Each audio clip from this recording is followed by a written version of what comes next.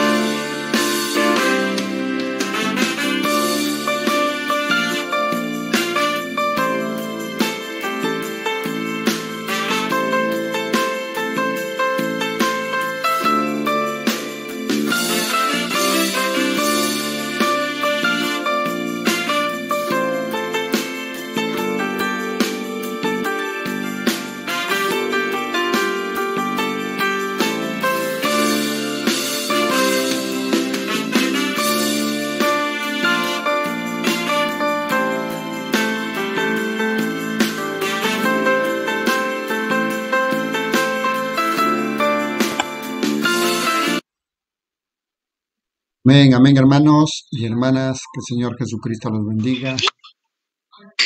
Vamos a controlar vuestros audios para iniciar este compañerismo. Dios le bendiga a todos mis amados hermanos y hermanas. Vamos a darle gracias por este nuevo día, por esta nueva tarde. Gracias Padre Celestial por este nuevo día, por esta nueva tarde que tú nos permites, Señor, estar juntos haciendo un compañerismo contigo, oh Padre. Muchas gracias por ese gran privilegio. Tú dijiste en Abacudos 14 que porque la tierra será llena del conocimiento de la gloria de Jehová como las aguas cubren el mar. Pero si no conocíamos cuál es el mensaje de la hora, esta escritura no lo podíamos entender, oh Padre amado, pero tú en este último tiempo enviaste al profeta mensajero que estaba en misterio, Señor, Apocalipsis 17, sino que en los días de la voz del séptimo ángel, cuando él comienza a tocar la trompeta, el misterio de Dios se había consumado como así lo anunciaste a tu siervo, a los profetas. Oh Padre, muchas gracias por ese gran privilegio, Señor.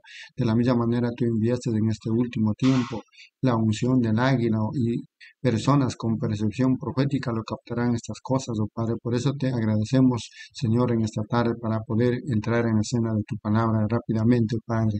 Muchas gracias por ese privilegio los hermanos y hermanas también que estarán en la cena, Señor. Permite abrir vuestra sabiduría, entendimiento, de esa manera poder entender lo que vamos a declarar, oh Padre. Permite, Señor, que lo hagamos de una manera y de una forma correcta, Señor, conforme está escrito, Señor, para no tergiversar las cosas, Señor, sino para entender bien cómo fue hablado, cómo fue predicado, cómo esos cultos realizados por el profeta de Apocalipsis 17 estaba predicando Siete veces fue la vuelta al mundo, Señor. Por eso, como dice en Habacuc, porque la tierra será llena del conocimiento de la gloria de Jehová como las aguas cubren el mar.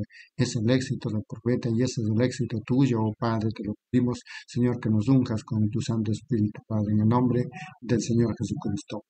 Amén, mis amados hermanos y hermanas. Vamos a iniciar con un nuevo mensaje titulado Hebreos capítulo 4, mensaje predicado en Jeffersonville, Indiana, Estados Unidos de América, el día 1 de septiembre del año 1957. Este mensaje ya está en la noche, entonces vamos a tener el privilegio de ver esos cultos realizados con el grande profeta que tú le Entonces, mis amados hermanos, vamos a comenzar con Hebreos capítulo 4, Jeffersonville, Indiana, Estados Unidos de América, el día 1 de agosto del año 1957, eh, perdón, septiembre.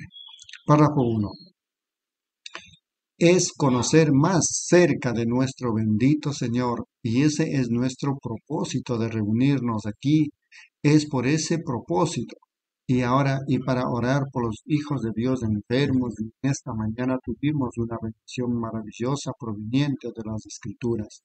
Estamos tratando de tomar en cada servicio una parte de... Yo estoy enseñando del libro de Hebreos. Lo he estado haciendo por las últimas dos semanas. Y ahora, si es la voluntad del Señor, continuaremos el miércoles por la noche, luego el domingo por la mañana y el domingo por la noche. Continuaremos mientras yo esté aquí en este tiempo. No es un avivamiento, pero es un avivamiento, una reunión en nuestras noches regulares de servicio. Y así que estamos muy, muy contentos de tener este tiempo para encontrarnos con nuestros buenos amigos de las ciudades de alrededor, como las de Fall City y aquí. Y si sucediera que tuviéramos una cancelación o algo, pudiera ser que el Señor pudiera guiarnos muy pronto. tal vez pudiéramos tener unas cuantas noches, tal vez en el gimnasio o algo después de un tiempo, si se mirara que el Señor nos guiara en esa dirección a un lugar en donde pudiéramos reunir a nuestra gente. Y vimos a gente mientras veníamos regresándose diciendo no había lugar para entrar. Por supuesto el tabernáculo es demasiado pequeño. Solo sienta muy, muy poca gente y estamos tan contentos que ustedes están dispuestos a venir y sentarse en este calor para escuchar la palabra del Señor. Y nosotros estamos orando que Dios los bendiga sumamente, abundantemente y os ayude. Párrafo 2. Y ahora en esta noche queremos, estamos empezando el capítulo 4. ¿Cuántos estuvieron aquí en esta mañana? Veamos sus manos. Oh, eso es maravilloso. Prácticamente todos ustedes. Y estamos empezando el capítulo 4 cuarto del libro de Hebreos. Y, oh, qué libro tan maravilloso. ¿Lo están disfrutando ustedes? Y es comparado escritura con escritura. Y Pablo, antes que él pudiera alguna vez testificar de su experiencia, él primero tuvo que ir a Arabia y darse cuenta por la palabra si era la verdad. Me gusta eso. Y en la lección de esta mañana nos dimos cuenta en la enseñanza de esta mañana que Cristo era el mismo ayer, hoy y por los siglos. Y Pablo se dio cuenta que la misma columna de fuego que guió a los hijos de Israel lo había encontrado a él en el camino a Damasco. Nos dimos cuenta que la columna de fuego que guió a los hijos de Israel en el desierto a la tierra prometida encontró a Pablo en el camino a Damasco y se llamó a sí mismo Jesús. Párrafo 3. Luego nos dimos cuenta de la suprema verdadera deidad de Jesucristo. Todo el libro aquí es simplemente una revelación de Jesucristo.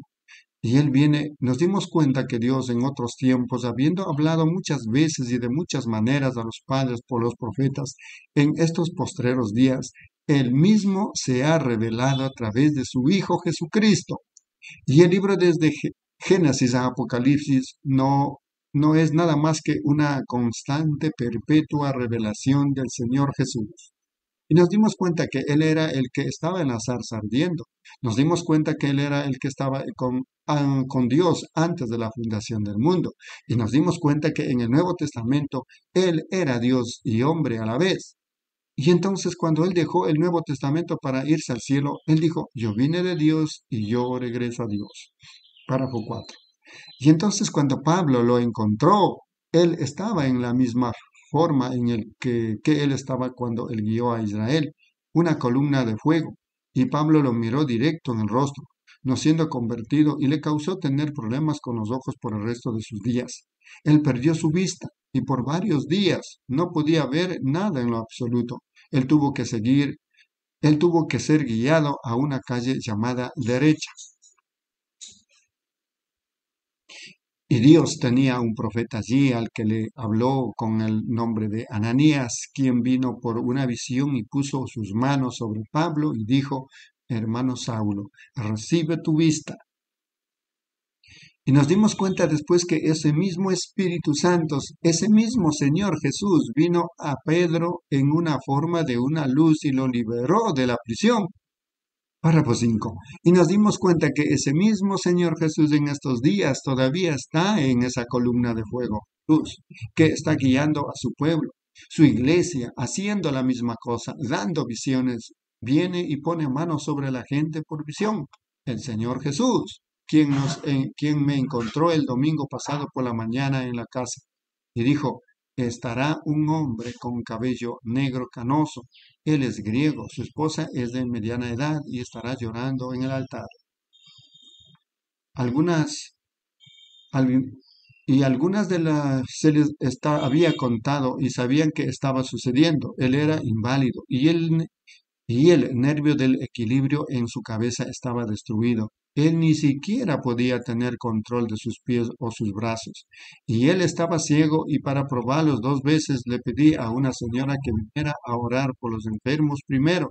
Después me di la vuelta y le pedí al hermano Tons que viniera a orar y nosotros sentados allí observando desenvolverse eso y luego me bajé y oré por los enfermos y regresé y ella vino exactamente de acuerdo a la visión y me tomó del brazo y empezó a llorar y dijo que el doctor Ackerman lo había enviado aquí. El doctor Ackerman es un amigo íntimo mío, católico. Su hijo es un sacerdote en el monasterio en Saint Mainland y en Indiana y está hombreada de Jasper y el Señor lo sanó y lo sacó de esa silla. Él se levantó y caminó. Él podía ver tan bien como cualquier otro y salió del edificio normal y sanó todo por una visión. Párrafo 6. Hermano Saulo, el Señor Jesús que te apareció en el camino, me ha enviado para que yo ponga mis manos sobre ti, para que tú pudieras recibir tu vista y ser lleno con el Espíritu Santo. Maravilloso. Después nos dimos cuenta viendo que tenemos esta gran salvación, no deberíamos, no pudiéramos escapar los castigos e ira de Dios si nosotros descuidamos una salvación tan grande. Ahora bien, vamos a empezar a leer en esta noche del, y empezar el capítulo 4 cuarto del libro de Hebreos. Si alguien quiere leerlo, tenemos algunas Biblias aquí. Si ustedes quieren una de estas Biblias, bueno, uno de los ujieres se los llevará a ustedes si mantienen sus manos levantadas. Si uno de los hermanos de aquí llevara, hay dos Biblias allí, creo yo. Párrafo 7. Y ahora nos apuraremos porque tenemos comunión después de un rato. Y en donde terminemos en esta noche, el miércoles por la noche, empezaremos otra vez. Ahora creo que en esta mañana nuestra lectura empezó en el versículo quinceavo. Alguien tal vez no sabía que usaba lentes para leer. Me estoy haciendo viejo. Y todavía puedo leer, pero no puedo leer rápido, especialmente cuando tengo que leer letras pequeñas aquí, letras pequeñas. Y fui a que me examinaran mis ojos para ver si verdaderamente estaba perdiendo mi vista. Mis ojos eran diez, diez.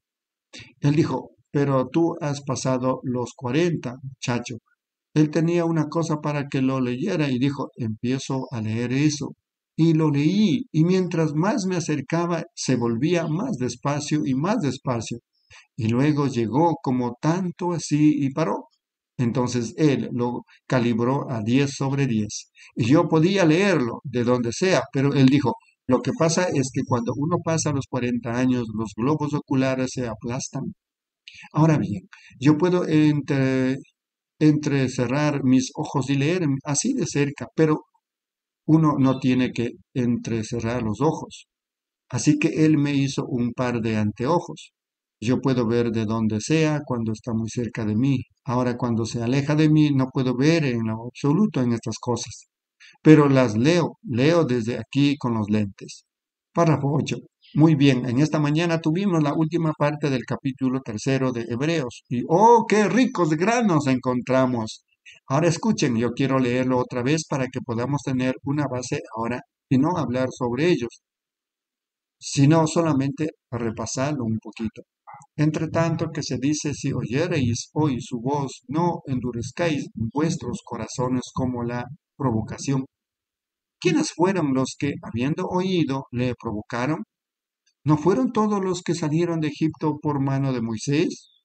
Ahora bien, en eso, en esta mañana nos damos cuenta que él dijo, no endurezcáis vuestros corazones como en los días de la provocación. Eso es cuando ellos provocaron a Dios a ira porque Él les había dado a ellos a Moisés su profeta y una señal que estaba con Moisés. ¿Cuántos de la clase en esta noche saben cuál era esa señal? La columna de fuego, Hebreos 13. Párrafo 9. Ahora bien, no sabemos si la congregación vio esa señal o no, pero Moisés la vio, pues Moisés primero lo encontró a él en una zarza ardiendo.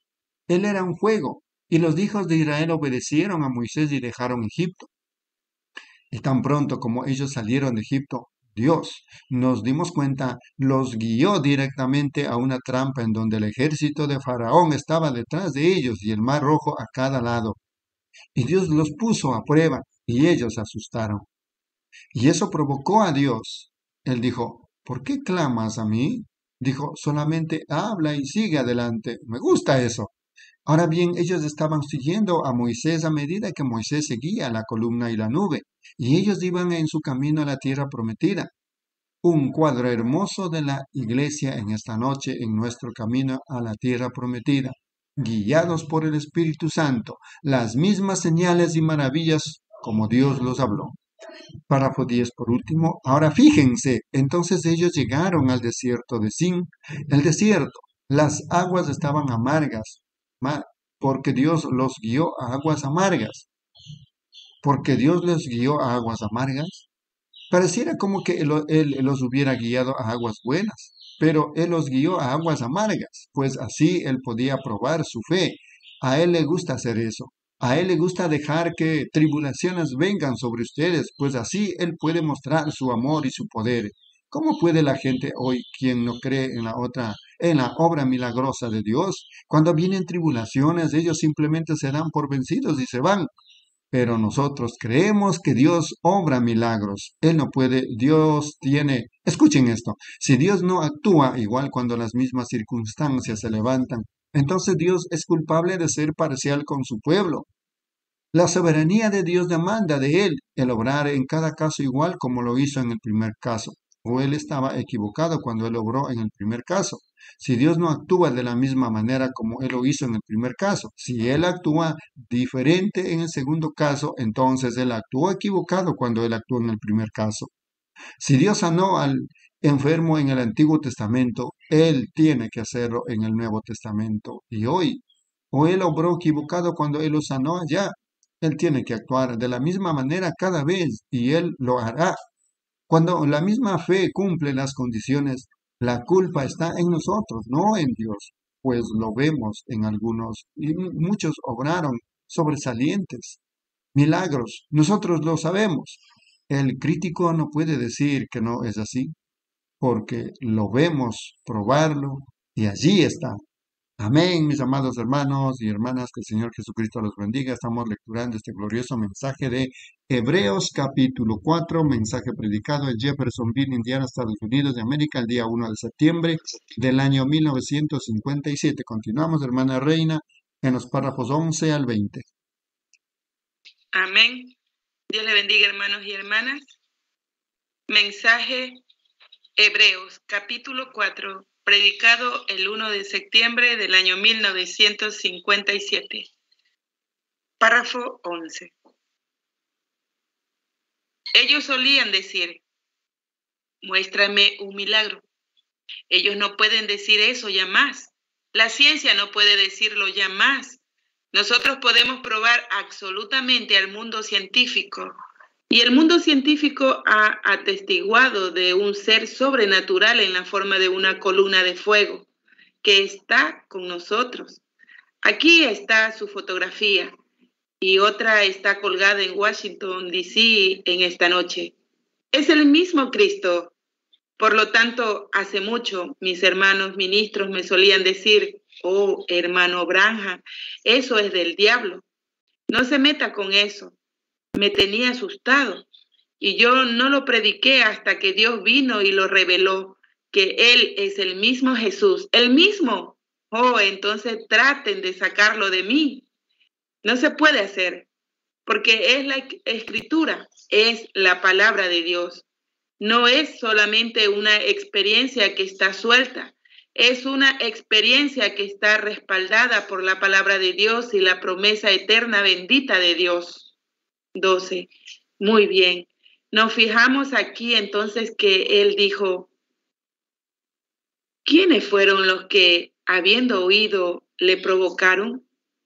Seguramente ellos se fastidiaban cada vez que llegaban a un lugar en donde un reto venía.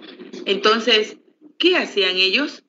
Ellos perdían los estribos y se fastidiaban y querían regresarse. ¿Y por qué me sucedió esto? Cosa extraña. En esta mañana, después de predicar tan duro como podía, hubo muchos que vinieron al altar e hicieron la pregunta, ¿por qué me sucede esto? ¿Ven ustedes lo que sucede? Pasa por encima de la cabeza de la gente. Es la misma gente. Jesús dijo, tienen ojos, pero no pueden ver. Él les dijo eso a los discípulos. Ellos dijeron, ahora hablas claramente, ahora creemos. Ningún hombre tiene que decirte nada, porque Dios te lo muestra.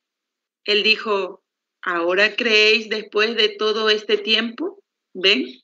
Ustedes no deben cuestionar en nada a Dios, porque los pasos del justo son ordenados por Dios. Y cada prueba que es puesta sobre ustedes es para probarlos. Y la Biblia dice que son más preciosas para ustedes que el oro.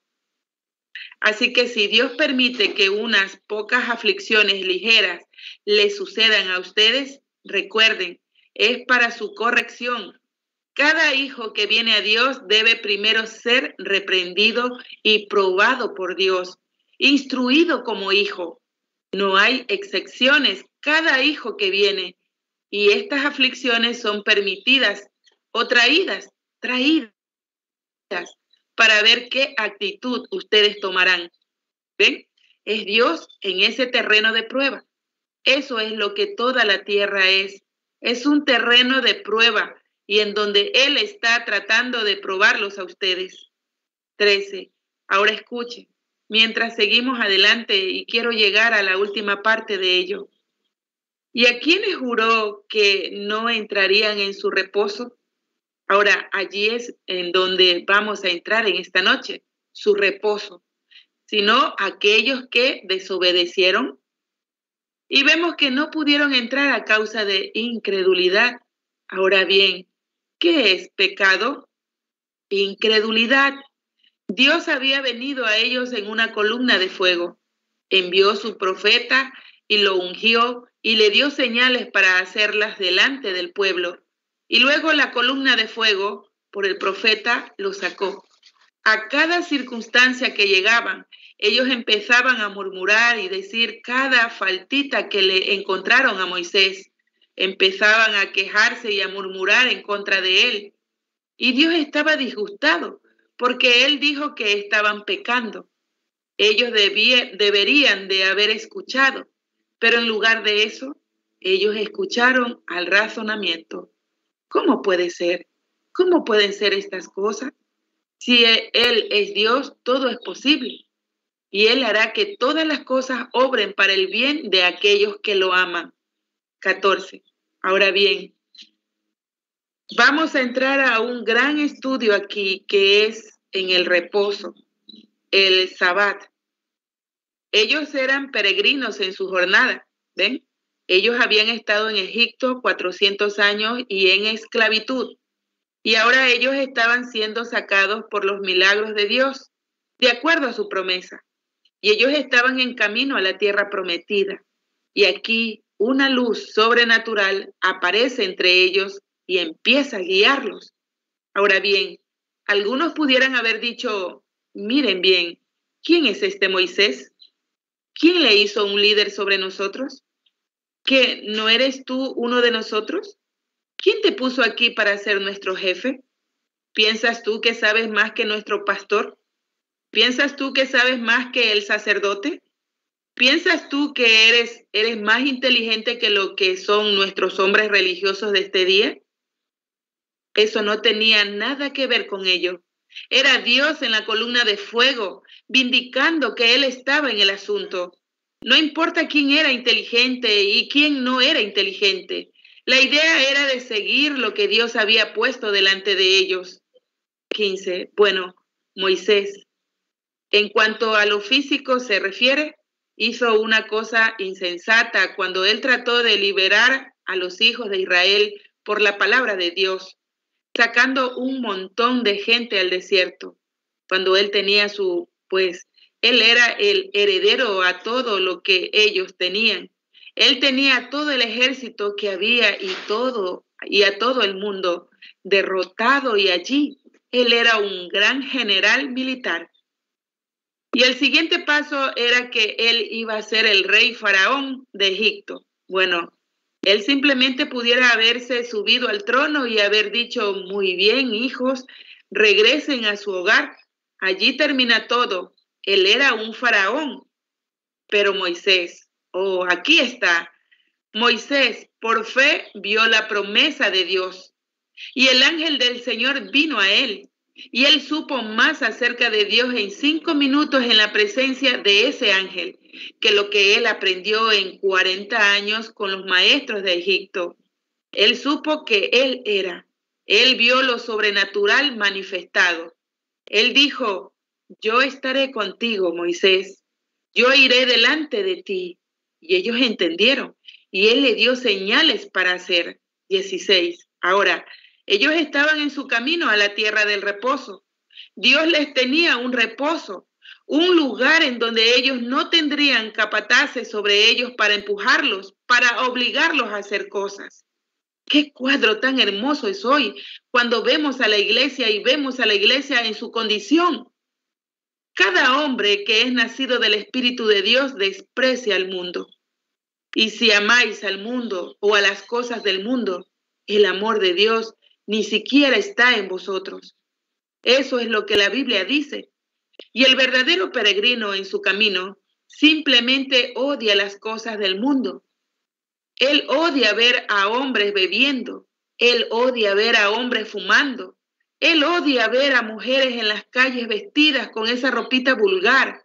Él odia ver buncos y juegos de barajas. 17. Ayer caminando el hermano Tony, el hermano Good, quise decir, y caminando por la calle, y algunos de esos hombres, por allí venía una jovencita, allí en Louisville, caminando por la calle, una jovencita de hermoso parecer, con ropa que era horrible, solamente un poquito por arriba de las caderas y un pequeño listón atado en sus caderas a cada lado y un pedacito pequeñito de tela redondo, redondo enfrente de ella y atada con una cuerda por detrás, caminando por la calle. ¡Horrible! Y cada hombre en la calle la miraba. Yo dije, ella no comprende que es culpable ante los ojos de Dios de cometer adulterio con cada hombre que la miró de esa manera. Y ella responderá en el día del juicio por cometer adulterio con esos hombres. Jesús dijo, cualquiera que mire a una mujer para codiciarla, ya cometió adulterio con ella, ¿correcto? 18. Así que, ¿ven? El hermano Good me preguntó, ¿a qué se debe eso, hermano Branham? Yo contesté, una de dos, o es deficiencia mental o posesión diabólica. Hay solamente dos cosas que pueden hacerlo. Una mujer limpia, decente, no usaría esas cosas a menos que ella esté posesionada por un demonio. Eso es exactamente la verdad.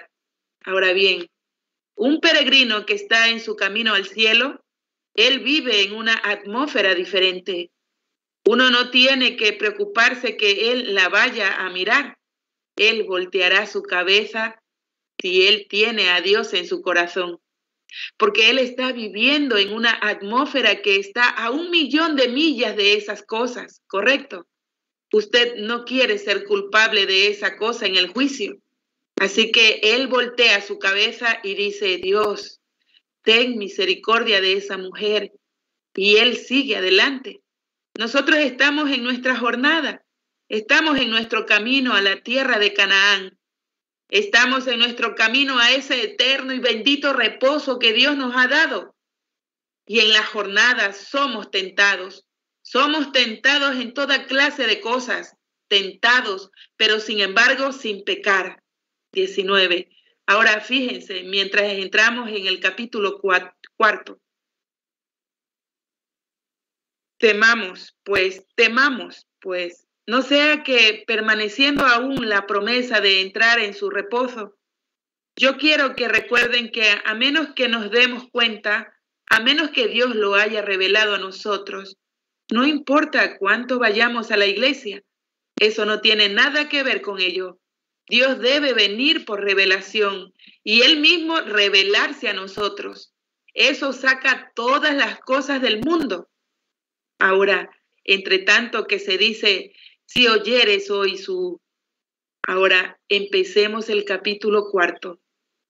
Temamos, pues, no sea que permaneciendo aún la promesa de entrar en su reposo, ahora recuerden, cuando ellos iban en camino al reposo, la columna de fuego los guió. Ahora queremos darnos cuenta, ¿qué es este reposo? Temamos, pues, no sea que permaneciendo aún la promesa de entrar en su reposo, fíjense, alguno de vosotros parezca no haberlo alcanzado. Párrafo 20. Ahora, aquí está la promesa. Aquí está lo que debemos de temer. Si no hubiera una promesa que se nos dejó, pero hay una promesa. Y entonces la cosa siguiente, no dejar de alcanzarla. Ahora bien, el pensamiento es, si estamos en el camino al reposo, ¿qué es el reposo? ¿En dónde está? ¿Es unirse a la iglesia? ¿Es ser bautizado de cierta manera? ¿Es llegar a ser un miembro de la iglesia más grande de la ciudad? ¿Usar mejor ropa?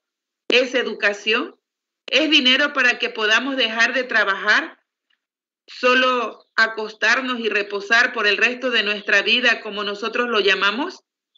Eso no es. Escuchen lo que la Biblia dice que es y cómo lo obtenemos. Temamos, pues, no sea que permaneciendo aún la promesa de entrar en su reposo, alguno de vosotros parezca no haberlo alcanzado. Porque también a nosotros, hoy día entonces, se nos ha anunciado la buena nueva como a ellos. ¿Qué es el Evangelio? Las buenas nuevas. Las buenas nuevas llegaron a ellos en Egipto, que Dios ha enviado un libertador y nos va a sacar y llevarnos a la tierra prometida. Amén. Dios les bendiga, mis hermanos. Amén, amén, hermana reina. Dios le bendiga la lectura. Continuamos con este glorioso mensaje. Hebreos, capítulo 4, mensaje predicado en Jeffersonville, Indiana, Estados Unidos de América, día 1 de septiembre del año 1957. Confirme, hermana Rosia- Rosalia, si puede leer. Amén, hermano. Amén. De los, de los párrafos siguientes. Ya. Continuando con el mensaje de Hebreos capítulo 4, párrafo 21. Las buenas nuevas para nosotros ahora es que Dios ha enviado un libertador, el Espíritu Santo. Y estamos en el camino a la tierra prometida. Ahora la gente lo ha hecho credos y denominaciones, pero Dios todavía dice que nuestro reposo es el Espíritu Santo. Fíjense, anunciado la buena nueva como a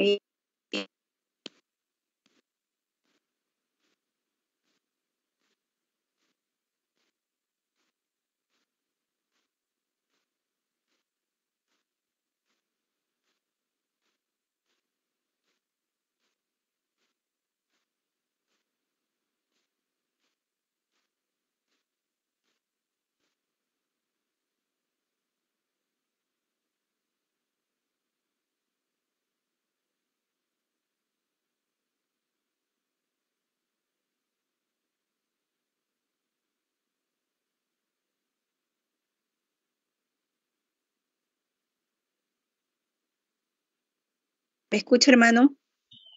Listo, hermana. Sí, prosiga, ya la escuchamos. Ya, hermanito.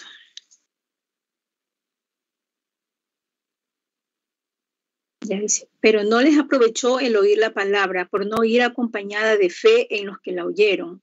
Oh, mis hermanos, permítanme parar aquí por un momento. No importa cuánto sea predicada la palabra, cuán bien les guste a ustedes de la manera que ha sido predicada. A menos que ustedes mismos sean participantes de eso, no les hará ni una pizca de bien por no ir acompañada de fe en los que la oyeron. 22. Ellos vieron los milagros de Moisés. Ellos dijeron, eso está muy bueno. Y ellos fueron a ver lo que vieron a él obrar milagros. Y ellos vieron la columna de fuego. Tal vez o lo oyeron hablar de ella. O eso está bien, pero no, está, no estaba mezclada con fe personal. Pues tan pronto como llegaron al desierto, cada uno de ellos empezó a murmurar. Y Dios dijo, porque habían dudado, eso era pecado. No duden nada, crean, no duden. No importa cuán difícil sea el caso, créanlo.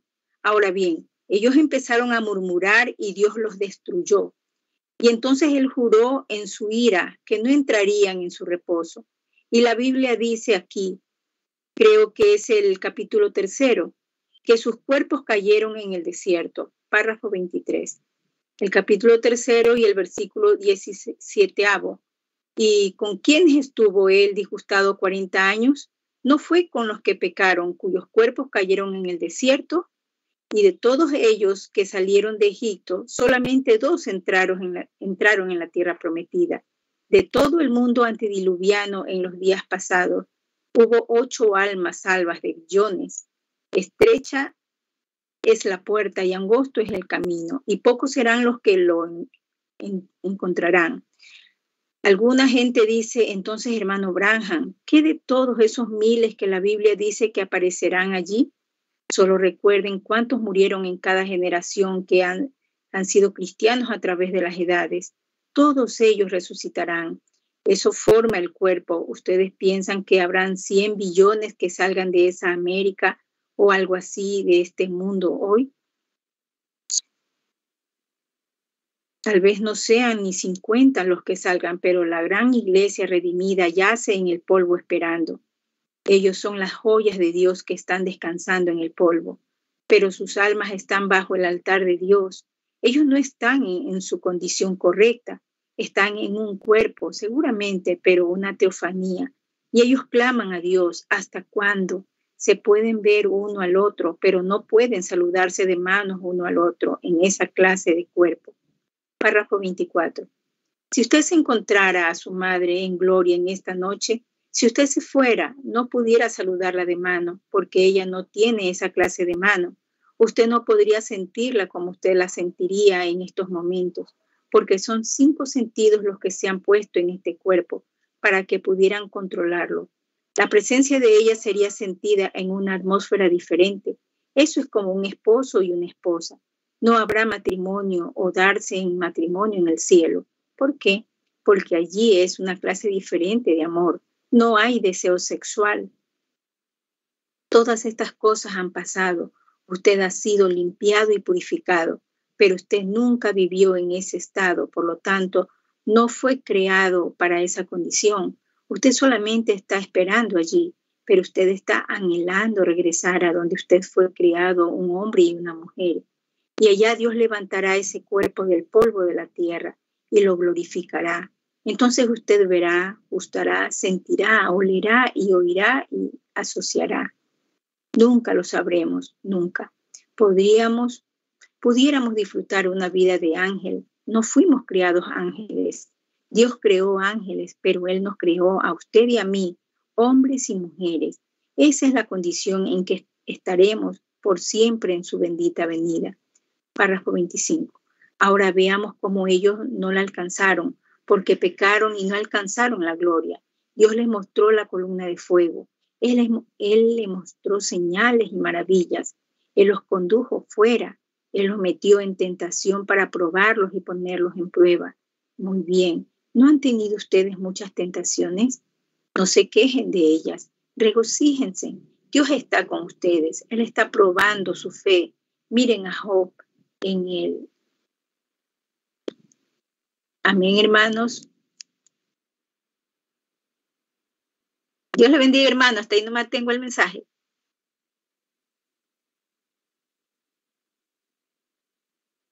En el programa El Resto. Entonces vamos a, con- vamos a continuar del párrafo 15, ve- del párrafo 25. 26 dice, eh, continuamos con este glorioso mensaje. Ca- Hebreos capítulo 4, mensaje predicado en Jeffersonville, Indiana, Estados Unidos de América, día 1 de septiembre del año 1957. Mientras arregla el, el orden, voy a continuar desde los párrafos 26 al 36. Oh, él hizo todo, excepto quitarle su vida, pero él no podía mover a Job. Job sabía que se había mantenido firme en la palabra, correcto, y todos los diablos del infierno no podían moverlo porque él sabía que había ofrecido ese sacrificio. Él era justo y ellos lo acusaron. Dijeron, tú has pecado, Job, y Dios te está castigando. Él sabía que Dios no había, que él no había pecado ante Dios. Él sabía que él era justo, no porque él era un buen hombre, pero porque él estaba aceptando el holocausto en lugar de él. Y en esta noche sabemos que su vida probó que Él era justo. Y cuando usted no tratamos de llegar al hogar en gloria porque usted trata de ayudar a su vecino, eso está bien, no porque usted se une a la iglesia, eso está bien, sino que usted llega al hogar en gloria porque ha aceptado la justicia de, de Jesucristo. Nada que usted por sí mismo haya hecho. Ahora bien, mientras seguimos leyendo, porque también a nosotros se nos ha anunciado Versículo segundo. La buena nueva como a ellos, pero no les provechó el oír la palabra por no oír acompañada de fe en los que lo oyeron. La fe no estaba en aquellos que oyeron la palabra. Párrafo 27. Solo piensen hoy en el pequeño ministerio humilde que el Señor me ha dado. Deberían de haber 40 millones de americanos salvos en esta noche. ¿Saben ustedes lo que ellos dicen? Oh, bueno, es telepatía mental. Él es un leedor de la mente, no hay tal cosa. Bueno, él no pertenece a nuestra iglesia, ven, no es, no importa cuánto usted eh, enfatice la palabra y pruebe que es la palabra de Dios, es la promesa de Dios. Cuánta ciencia lo prueba que es verdad. Con todo eso, ellos todavía no pueden creer. La Biblia dice que no podían. Dicen entonces, ¿cuál es el propósito de predicar? Dios tiene que tener un testigo para condenarlos en ese día. La palabra fue predicada y probada entre ellos, y sin embargo así se apartaron ignorándola. No queda más, más que juicio. Dios no podía juzgar, no podía juzgar justamente a una nación a menos que tuviera misericordia antes que tuviera juicio. Él es Dios, Él no podía hacerlo. Párrafo 28. Bien, ¿qué estamos diciendo? Pero los que hemos creído entramos en el reposo de la manera que dijo, por tanto, juré en mi ira que no entrarán en mi reposo, aunque las obras suyas estaban acabadas desde la fundación del mundo. Porque en cierto lugar dijo así del séptimo día. Ahora bien, yo no quiero herir los sentimientos de la gente estando en contra de su religión. Eso no es mi propósito. Allá en los campos yo solo predico las bien conocidas, grandes doctrinas evangelísticas fundamentales, pero en el tabernáculo entre mis hijos, aquí, yo siento que tengo el derecho de predicar lo que yo pienso que es doctrina y verdad. ¿Ven? Yo pienso que es correcto. Párrafo 29. Ahora bien, yo tengo miles de buenos amigos sabáticos de gente que son adventistas del séptimo día. Algunos de los amigos más queridos que yo tengo, algunos de ellos son adventistas del séptimo día. Sin embargo, el gran movimiento de los, los que llaman la profecía, la voz de la profecía, ellos están firmemente en contra mía. Dijeron que yo hice una declaración en el púlpito y dijeron que yo era Dios y que él y que esta luz que seguía era un ángel y que yo era Dios y que yo vine al mundo para hacer grandes cosas y para probarle a la gente que yo era Dios. Ahora, eso es lo que la voz de profecía dijo a mí allá en California. Y cualquiera que dijo eso, ustedes saben que dijo algo que no es así. Pero en primer lugar, no estando en contra de la iglesia adventista del séptimo día o de alguna otra iglesia sabática, sino solamente por causa del Evangelio. Vamos a llegar a unos cuantos minutos a los pentecostales también. Sí, claro, a los bautistas vamos a llegar a eso y mostrar que Dios no favorece a ninguna denominación. Correcto. Él solamente favorece al individuo y Él no lidia con ninguna denominación.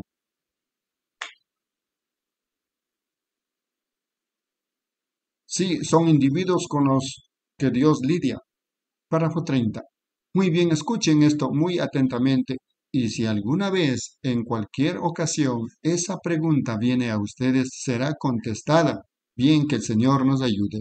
Muy bien, presten atención, porque el versículo cuarto, porque en cierto lugar dijo así del séptimo día. Ahora fíjense, él está hablando acerca del sabbat. ¿Cuántos saben que la palabra S-A-B-B-A-T-H en hebreo es una palabra hebrea que significa reposo? ¿Cuántos saben eso en inglés? Seguro, ¿no suena rara la palabra sabbat? Sí, suena. ¿No suena para la palabra santificar? Santificar es una palabra griega. Santificar significa ser hecho santo. En el hebreo significa hacer santo, en el griego significa santificar, en el inglés significa hacer limpio. Sabbat significa aún día de reposo. Eso es lo que el antiguo Sabbat era, un día de reposo. ¿Cuántos de ustedes ven reposo significa Sabbat? Búsquenlo en su manuscrito original si de la casualidad que tengan ustedes una Biblia griega y dense cuenta si la palabra, si ustedes tienen una Biblia Scoffing, busquen en la lectura marginal reposo y verán si no los regresa a ustedes al Sabbat. Sabbat significa reposo. Muy bien. Ahora fíjense, tenemos pues no sea que permaneciendo aún la promesa de entrar en su Sabbat, reposo. Párrafo 31. Ahora, mucha gente guarda días cuando, ¿cómo guardar el día Sabbat, el sábado? Otros hacen el domingo un ídolo, un día de adoración y por la gracia de Dios y por la palabra de Dios, Dios me ayude en esta noche. Yo puedo probarles a ustedes que ambos están mal. Ambos. Los adoradores del domingo y los que guardan el sabbat. Están ambos absolutamente errados de acuerdo a la palabra. Y después de todo es la palabra por la que nos dirigimos, no por lo que los adventistas dicen o no por lo que los protestantes dicen o lo que los católicos dicen, es lo que la Biblia dice.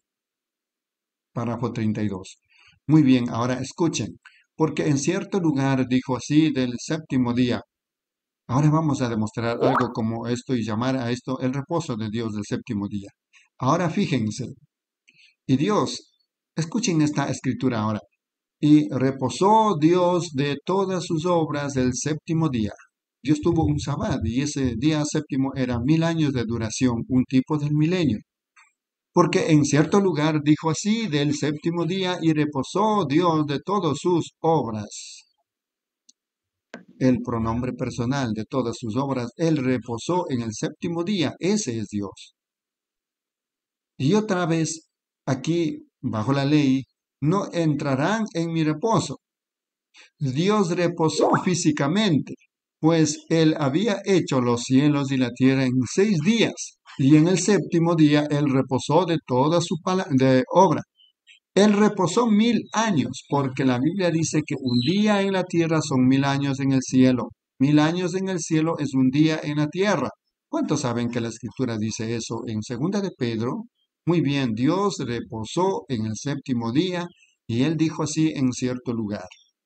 Párrafo 33. Ahora bien, escuchen atentamente, porque en cierto lugar dijo así del séptimo día y reposó Dios de todas sus obras en el séptimo día.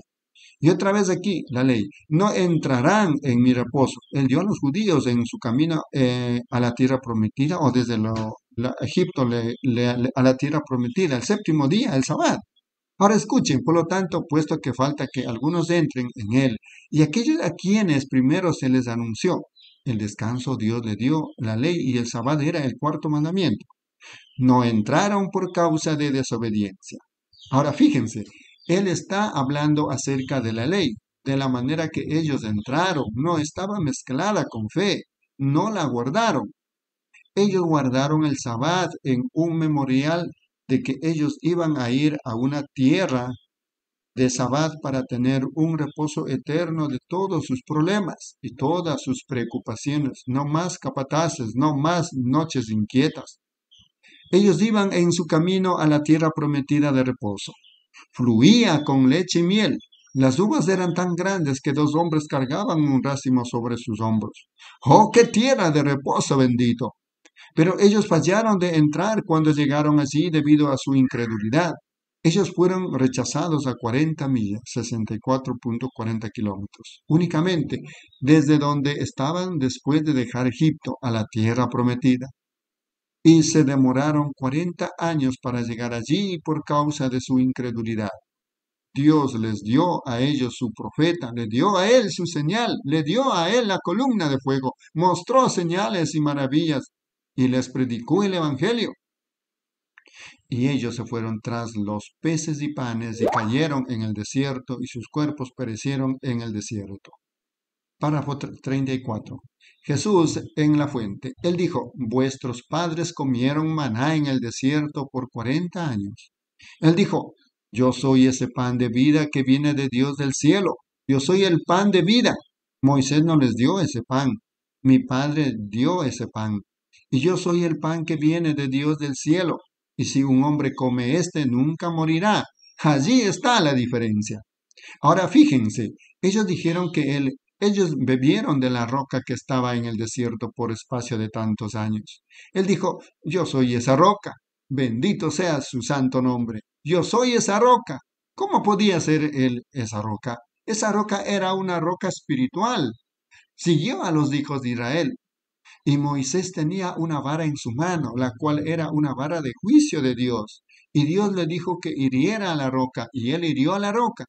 Y cuando él lo hizo, aguas salieron de la roca. Y Cristo fue esa roca, y el juicio de Dios por la pena del pecado cayó sobre él. Dios hizo que cayera sobre él la iniquidad de todos nosotros, y esa iniquidad reventó su corazón, y de su corazón convirtió al Espíritu Santo como ríos de agua para un pueblo moribundo, perecedero. yo soy esa roca que estaba en el desierto. Mira, él dijo, ¿me quieres decir? Párrafo 35. Él dijo, Moisés, el que les dijo a ustedes eso, él anheló ver un mi día y él lo vio en parte. Le, di- le dijo, mira, ¿no quieres decir que tú eres más grande que Moisés, que tú has visto a Moisés? Y Moisés ha estado muerto por 800 años. Dijeron, ahora sabemos que tú tienes un demonio. En otras palabras, loco. Nosotros sabemos que tú estás loco. Él dijo, antes que fuera Abraham, yo soy. Yo era el yo soy que estaba en la zarza ardiendo. Yo soy ese fuego que estaba en la zarza ardiendo. Yo soy ese ángel que iba delante de ellos. Y él dijo, yo vengo de Dios y yo regreso a Dios. Y él vino de Dios e hizo carne y habitó entre nosotros. Regresó a esa misma columna de fuego y aquí está en esta misma noche después de dos mil años. El mismo ayer, hoy y por los siglos, haciendo la misma cosa, guiando a sus hijos benditos. Por último, el párrafo 36. Y muchos no estaban, no están en- entrando debido a incredulidad. Ahora, él dijo, él determinó un día, un día cuando Dios terminó su obra, entonces él determinó otra cosa y de esa manera si ellos escuchaban siete, si ellos venían, ellos guardan los sabbat y seguían con las lunas nuevas y demás. Allí es donde los hermanos adventistas tratan de regreso a usted. Continuemos leyendo. Fíjense, por lo tanto, puesto que falta que, algu- que algunos entren a él y aquellos a quienes primero se les anuncie la buena nueva, no entraron por causa de desobediencia. Ahora bien, el versículo séptimo, oh hermano, yo digo que la escritura está matemáticamente inspirada, yo digo que la escritura lo está y en todo sentido inspirada. Las matemáticas de la Biblia son perfectas. Amén, mis amados hermanos. Continuamos con este glorioso mensaje, Hebreos capítulo 4, mensaje predicado en Jeffersonville, Indiana, Estados Unidos de América, el día 1 de septiembre del año 1957. A continuación, hermana Reina.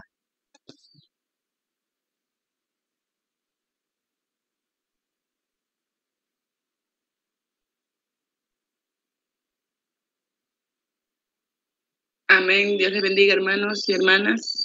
Continuando con la lectura del mensaje, Hebreos capítulo 4.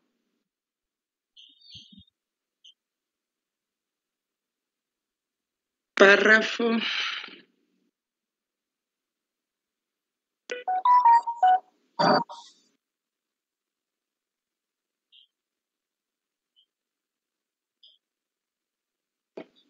Treinta y siete al cuarenta y siete.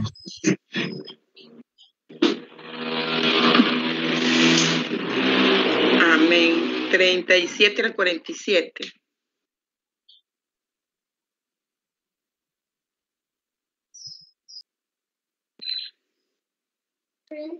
Párrafo 37.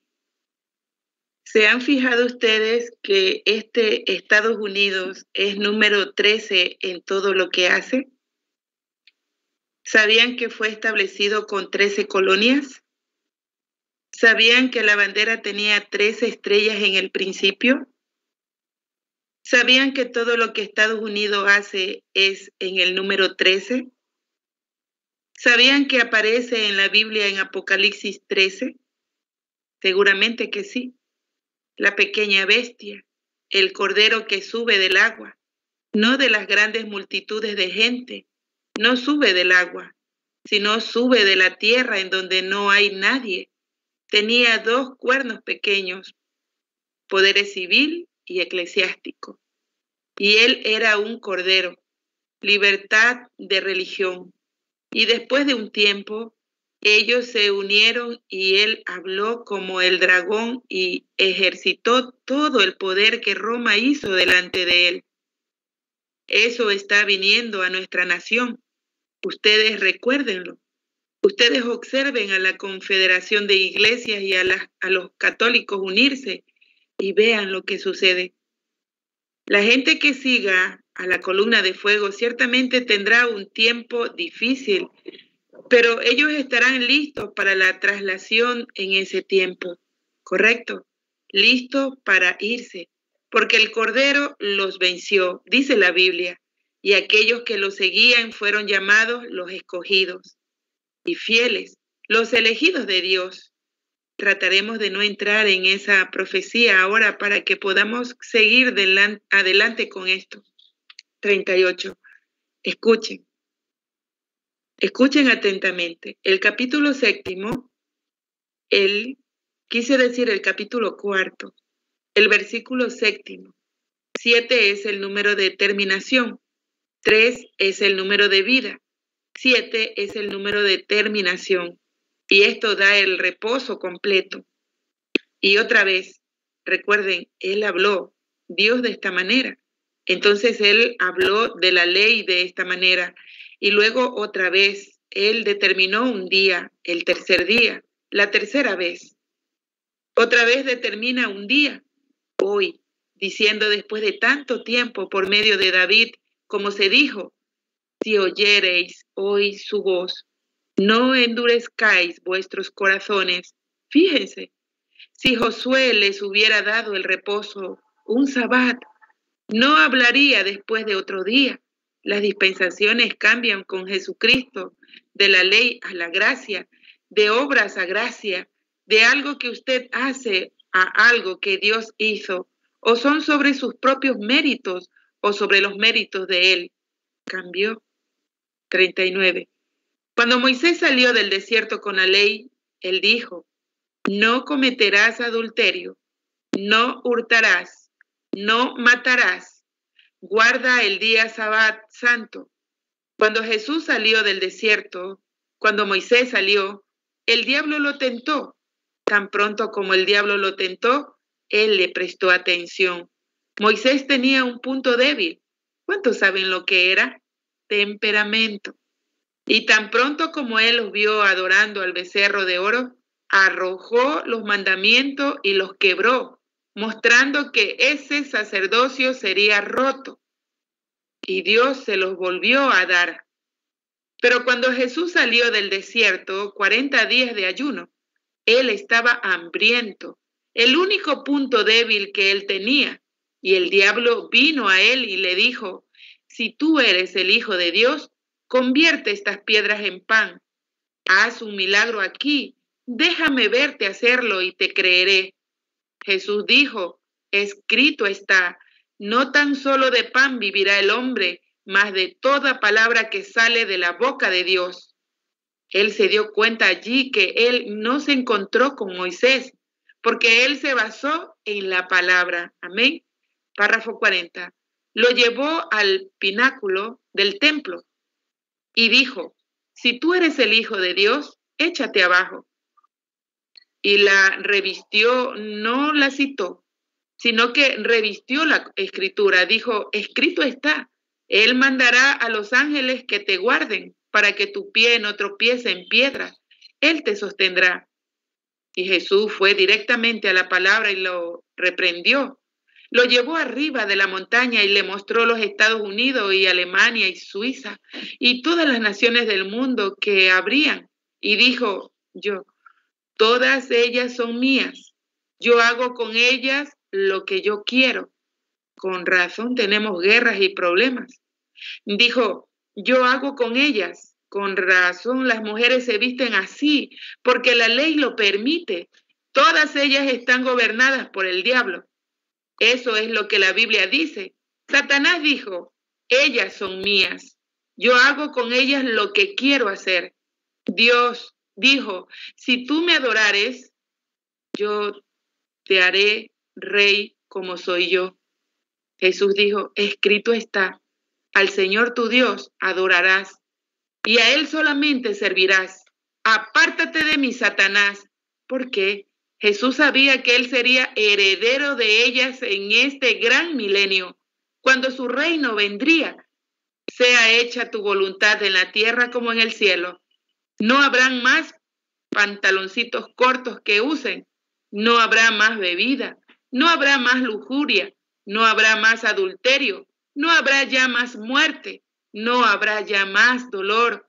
Él es heredero de cada nación. Son de Él, correcto. Ellas son de Él. y él será heredero, pero Satanás las tiene por un espacio de tiempo. Eso es hoy día en el que estamos viviendo. 41. Pero determina un día, hoy diciendo, después de tanto tiempo, no endurezcáis vuestros corazones, porque si Josué les hubiera dado el reposo, no hablaría después de otro día. Mi hermano adventista, mire eso. Pablo aquí dijo, y Pablo dijo en Gálatas 1.8, si usted está anotando las escrituras, Gálatas 1.8, si un ángel del cielo viene y predica algún otro evangelio aparte del que yo les he anunciado, sea anatema. Pablo dijo, si Josué les hubiera dado el día de reposo, muy bien, mire, cuando él bajó de la montaña, él bajó entonces, él había vencido al diablo, él estaba ungido, listo para su ministerio. Él dijo, vosotros oísteis que fue dicho a aquellos de la antigüedad, no matarás. Pero yo os digo a vosotros que cualquiera que se enoje con su hermano sin una causa, ya lo mató. Vosotros oísteis que fue dicho a aquellos de la antigüedad, este día de los guardadores del sabbat. Vosotros oísteis que fue dicho allá a aquellos de la antigüedad bajo la ley, no cometerás adulterio. Tenía que ser en el acto para ser culpables. Pero yo os digo a vosotros que cualquiera que mirare a una mujer para codiciarla, ya adulteró con ella en su corazón. Diferente, pasó por alto ese cuarto mandamiento, pero les dio el reposo. 42. Veamos lo que él dijo. David dijo, después de tanto tiempo habrá un reposo perfecto que viene. Y reposó Dios de sus obras en el séptimo día. Dios bendijo el día sabbat y se lo dio a los judíos en el desierto de esta manera. Ellos no entraron por causa de incredulidad debido a que la palabra no fue mezclada con fe. Otra vez determina un día diciendo de tanto tiempo por medio de David. Entre paréntesis, cientos de años después que David había muerto, el hijo de David se levantaría, el cual es Jesús.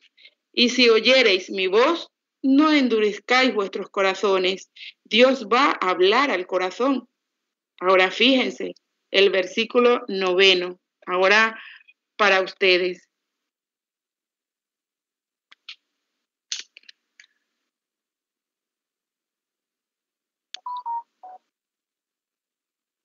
Ahora fíjense, el versículo noveno, ahora para ustedes que están leyéndola. Josué les hubiera dado el reposo, el versículo 8. No hablaría después de otro día, 43. Si tenía que ser un sábado, si tenía que ser un domingo que guardar, entonces él hubiera hablado de ello. Si él dijo ahora, si él dijo ahora, no hay más sábado, no hay que guardar más el día séptimo. Lo que yo quiero que ustedes guarden es el domingo. Él lo hubiera dicho. Pablo dijo que no lo dijo. Él hubiera dicho, todos ustedes que adoran en domingo, ese será el reposo. Bueno, si él hubiera querido que ellos guardasen el sábado, él hubiera dicho, continúen guardando el séptimo día. Pero ahora yo quiero que ustedes guarden el domingo, el día octavo. No, él nunca lo dijo. Él dijo, si Jesús les hubiera dado un día, ¿no hubiera hablado de ello? Párrafo 44.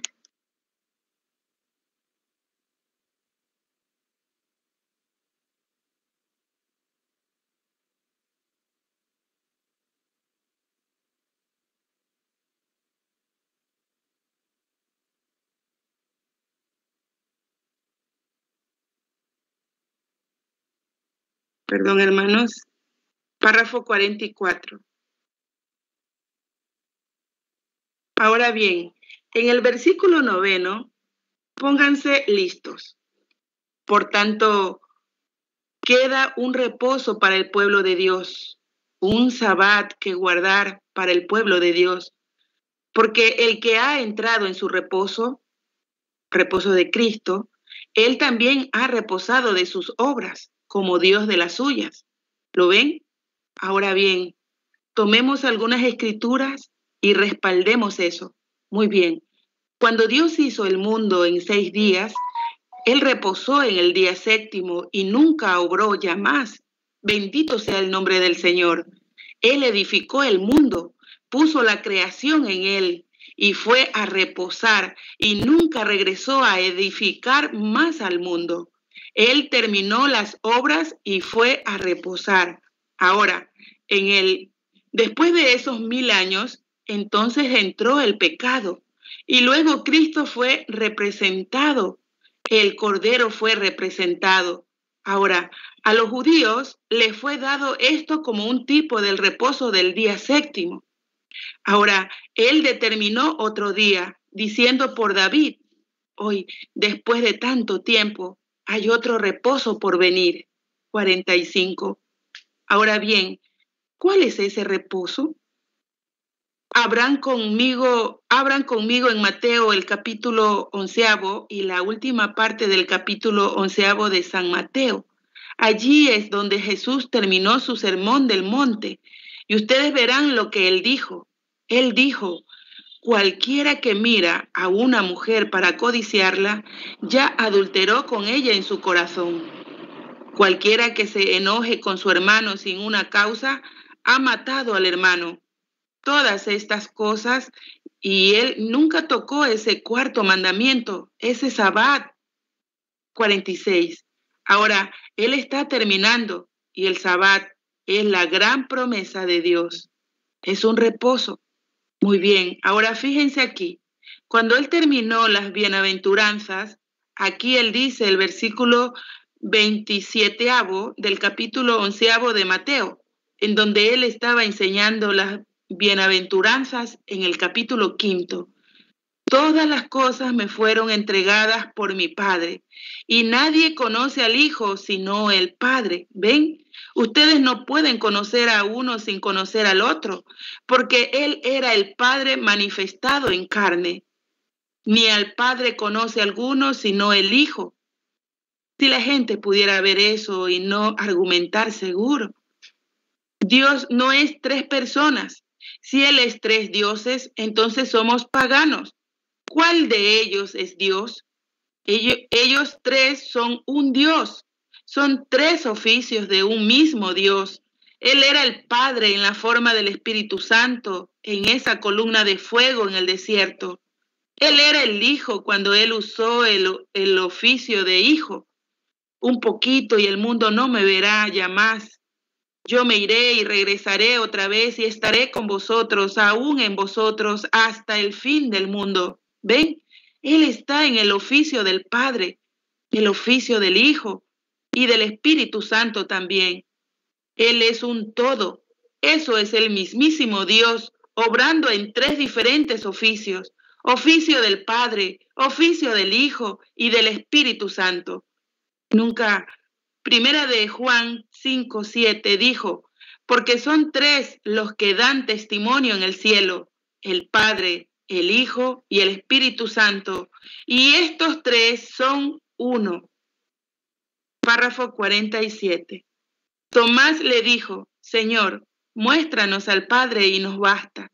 Él dijo, ¿tanto tiempo he estado con vosotros y no me conoces? Dijo, cuando tú me ves, tú has visto al Padre. ¿Y por qué dices, muéstranos al Padre?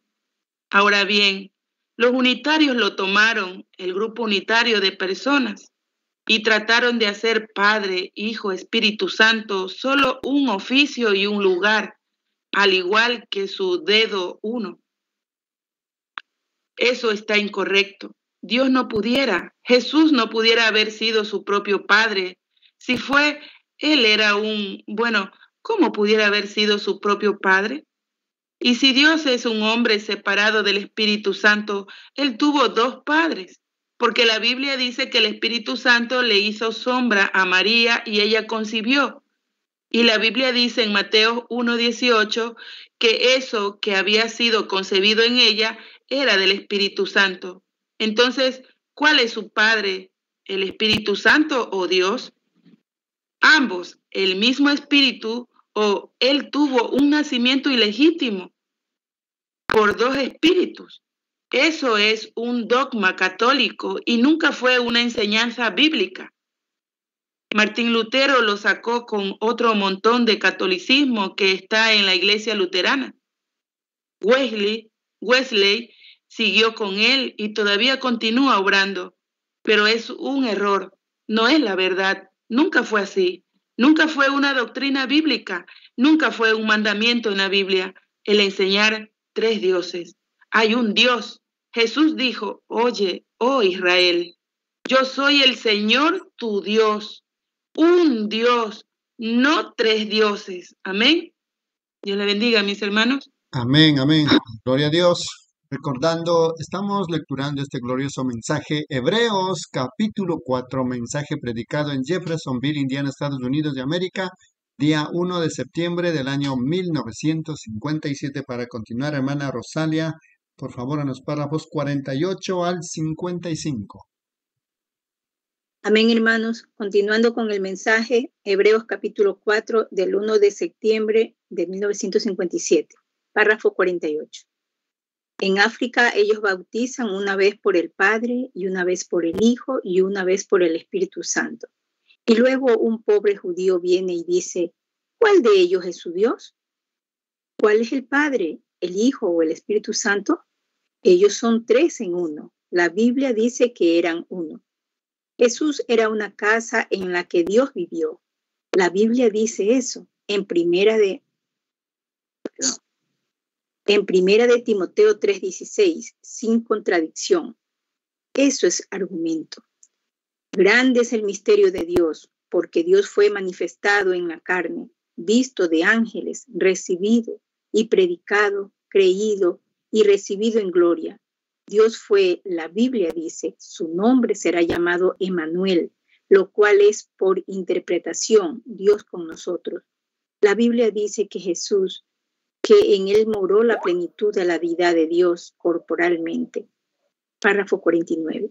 Como dijimos la otra noche, Dios en el principio era espíritu, y entonces de Dios salió el logos o la teofanía, la cual era en forma de un hombre llamado el Hijo de Dios prefigurado. Él vino a la tierra en un cuerpo de carne, aún antes que Él viniera en Jesucristo. Ahora, tráguese eso de una vez, hermano. Yo se lo probaré a usted. Cuando, cuando Moisés lo vio, él dijo, permíteme ver tu forma, Señor. Y Dios lo escondió en una roca. Y cuando él pasó, él dijo que era la, la parte de atrás de un hombre eso era esa teofanía, exactamente. Luego esa teofanía tuvo que hacerse carne. No otra persona, sino la misma persona tuvo que llegar a ser carne para quitar el aguijón de la muerte. Al igual que una abeja cuando aguijonea, ella deja un aguijón. Y la, él nunca dejó eso. Él podía meter un aguijón en la carne humana porque es pecado. Pero hermano, cuando él aguijoneó esa carne de Emanuel, él perdió su aguijón. Sí, Señor, él puede zumbar, pero él ya no tiene aguijón. Párrafo 50. Con razón Pablo, cuando ellos fueron a cortarle su cabeza, dijo, Oh muerte, ¿dónde está tu aguijón? Tú puedes zumbar y resumbar tanto como quieras. Sepulcro, ¿en dónde está tu victoria? Pero gracias a Dios, quien nos ha dado la victoria por medio de Jesucristo. Allí lo tienen ustedes. Se requirió a Dios mismo para hacer eso. Él vino y fue manifestado en carne. Él regresó otra vez en el Espíritu. Usted dice, hermano Branham, usted nunca nos ha dicho todavía cuando Dios fue hecho carne antes que Él viniera en Cristo. Cuando Abraham estaba sentado bajo su tienda un día, vinieron dos ángeles y Dios caminando hacia él en carne humana. Ellos tenían polvo en sus ropas y estaban cansados, y ellos se sentaron, y Abraham salió y tomó el becerro de la vaca y lo mató e hizo algunos bistec de cordero, salió y le dijo a Sara que cogiera algo de harina de maíz y la cerniera e hiciera algunos panes. Y cogió algo de leche de la vaca e hizo algo de mantequilla. Y la llevó allá y la puso allí. Y Dios comió. Párrafo 51. Aleluya. Esa es la razón. Mi fe espera en ti, Cordero que en la cruz. ¿Piensan ustedes que eso es una cosa difícil para Dios? Dios quien hizo todo el potasio y el calcio y todo el mundo, Él descendió para visitar a Abraham. Él dijo, ¿piensas tú que lo ocultaré de ti, viendo que tú eres el heredero del mundo? Amén. Yo no lo ocultaré de ti. Dios solo tomó un... Nosotros estamos hechos de 16 elementos. Él solo tomó algo de potasio y algo de calcio, algo de petróleo y luz cósmica. Hizo el hermano Branham sopla. Métete en eso, Gabriel, un cuerpo. El hermano Branham sopla. Métete en eso, Ajenjo. Él se metió en él, dos ángeles del cielo. Dios alargó su mano y cogió una mano llena de eso. El hermano Branham sopla. Él mismo se metió en eso. Bajó y tuvo hambre, bendito. ¿Qué de eso, hermano? Adventistas que no comen carne. Vamos a entrar en eso después de un momento. Dios Todopoderoso Jehová, investiguen si ese mismo nombre no está traducido lo mismo que el de la zarza ardiendo. Aleluya. Y cuando él se paró en la tierra, él dijo, antes que Abraham fuera, yo soy. El mismo de la zarza ardiendo, ¿correcto? Elohim. Vean si no es el mismo. Él era el que estaba en la zarza ardiendo. Párrafo 52. Él era aquel aquí en la presencia de Abraham, en un cuerpo de carne, que comió el becerro y bebió la leche de la vaca, y comió mantequilla en los panqueques, bendito sea el, sea el santo nombre de Dios. Caminó allí y dijo, yo no me iré, y él tenía su espalda volteada. Él dijo, Abraham, yo voy a visitarte, y tú vas a traer ese hijo. Tú tienes 100 años de edad ahora y Sara tiene 90 y Sara en la tienda. El hermano Branja lo ilustra. Se rió. Él dijo, ¿qué hizo a Sara reírse? Detrás de él, la tienda entre ellos. Abraham preguntó, Sara, ¿te reíste? No, no me reí. Él dijo, sí, tú te reíste. ¿Qué clase de telepatía es esa? ¿Qué clase de mente leyendo era esa? Él hace lo mismo hoy. Él es Jehová Jireh, Jehová Rafa, el mismo ayer, hoy y por los siglos. Él nunca falla. Mírenlo a él. Allí estaba parado, caminó y habló con Abraham y se desvaneció de su vista. Y el gran patriarca Abraham dijo que él habló cara a cara con Dios, Elohim, el mismo Dios. ¿Lo captaron? No tres personas, hermano, tres oficios de la misma persona. Párrafo 53. En el principio era el mismo. Él era esa gran fuente espiritual en donde toda la verdad, todo el amor, toda la paz, todo lo que era puro estaba en esa fuente. Empezó a formar un cuerpo, una teofanía, la clase de cuerpo a la que nosotros vamos, no un cuerpo glorificado, sino algo como un cuerpo angelical, tiene forma, figura. Cada vez que veo un árbol, yo pienso, ese árbol es un negativo, hay un positivo en alguna parte. Ese árbol fue hecho de, algo, una inteligencia lo hizo y todo lo que esta tierra hace es reflejar lo celestial. La Biblia así lo dice. Y si hay un árbol aquí que tiene que perecer, hay uno en gloria que no perecerá. Si yo veo a un hombre, yo veo a una parejita joven, amorosa, un hombre y su esposa caminando en la calle, enamorados uno del otro. ¿Qué refleja eso? Bendito sea el nombre del Señor, que hay una en el cielo que nunca perecerá. Si este tabernáculo terrestre se deshiciere, tenemos uno ya esperando la teofanía. Párrafo 55. Entonces, ¿capta usted la Trinidad? El, el gran Espíritu morando en el Hijo Jesús, Jesús morando en la iglesia, en, aquel día sabrás que yo estoy en el Padre, el Padre en mí y yo en vosotros. Todo lo que Dios era, lo vertió en, en Jesús. Todo lo que Jesús era, lo vertió en la iglesia. Allí lo tienen ustedes. Yo en el Padre, el Padre en mí y yo en vosotros y vosotros en mí. Hay un, allí está el cuerpo. Ese es el problema con la iglesia. Ellos han sido enseñados en una clase de doctrina insignificante, afeminada, de, vieja, de viejas corriendo de aquí y allá y teniendo cenas de sopas y fiestas de barajas. Con razón, tenemos el montón de confusión que tenemos nosotros. No necesitamos programas de niños y cenitas de sopa. Lo que necesitamos es un evangelio antiguo, recio y hombres de fe con la espada desenvainada allí y retando. Es lo que necesitamos hoy, no alguna teología trivial y alguna teoría hecha por algún grupo de hombres. Nosotros necesitamos el evangelio recio, predicado en la luz y en el poder y demostración del Espíritu Santo. Párrafo 55. Fíjense aquí ahora. Otra vez determina un día, hoy diciendo, después de tanto tiempo, por medio de David, como se dijo, porque si Josué les hubiera dado el reposo, no hablaría después de otro día.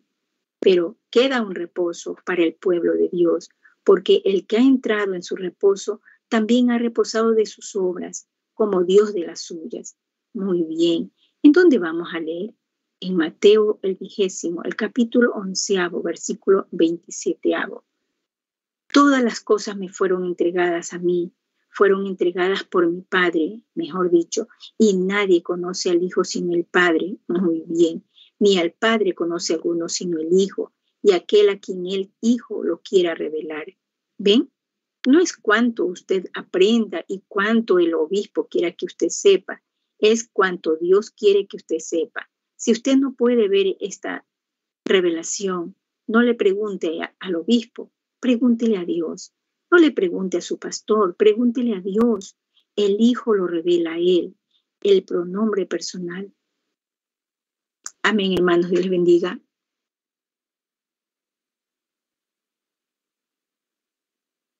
Este glorioso mensaje titulado Hebreos capítulo 4, mensaje predicado en Jeffersonville, Indiana, Estados Unidos, el día 1 de septiembre del año 1957. Para continuar, hermana Erika, los párrafos 56 al 66, hermana. Dios le bendiga. Dios le bendiga, hermanos y hermanas. Vamos a continuar con el mensaje Hebreos capítulo 4 del año 570901E, párrafo 56. Escuchen, esto los va a sorprender. Aquí está el mandamiento.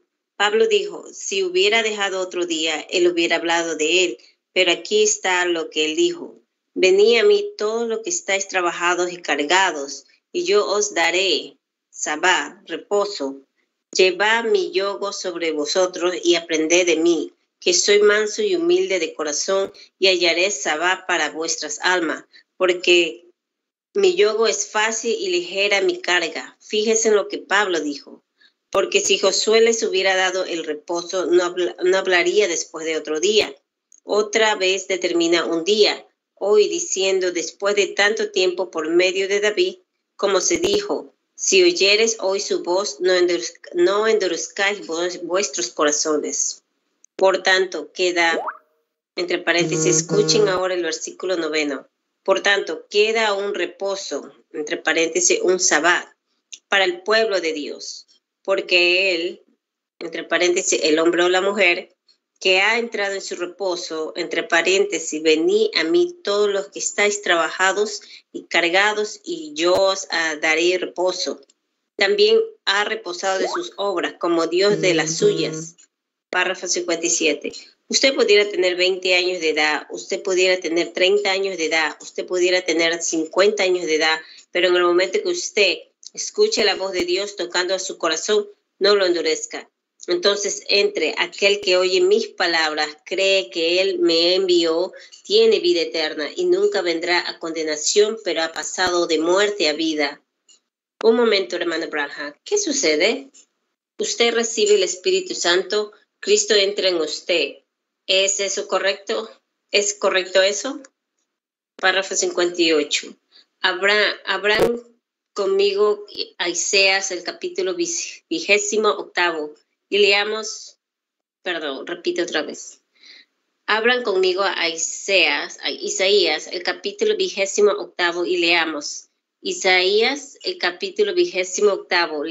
veamos lo que el profeta dijo acerca de ello. Mateo 28 en el versículo octavo. Aquí está la situación de los últimos días.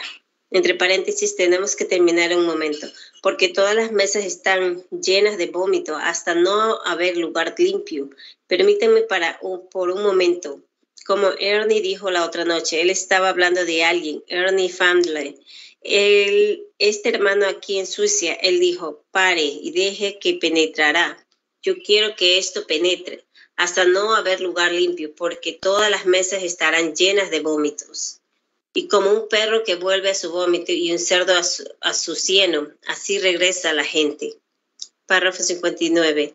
¿Cuál es el problema con usted, metodistas? Ustedes solían tener la luz. ¿Qué sucedió? Dios le quitó de sus manos y se lo dio a los nazarenos. ¿Qué pasó con ustedes, nazarenos? Ustedes en un tiempo tenían luz. Dios se la quitó de sus manos y se la dio a los pentecostales. ¿Correcto? Ustedes, iglesia de Dios, el resto de ustedes, pueblo de la santidad, porque ustedes rechazaron la luz, ustedes mismos se denominaron y dijeron, a nosotros no creeremos más que esto.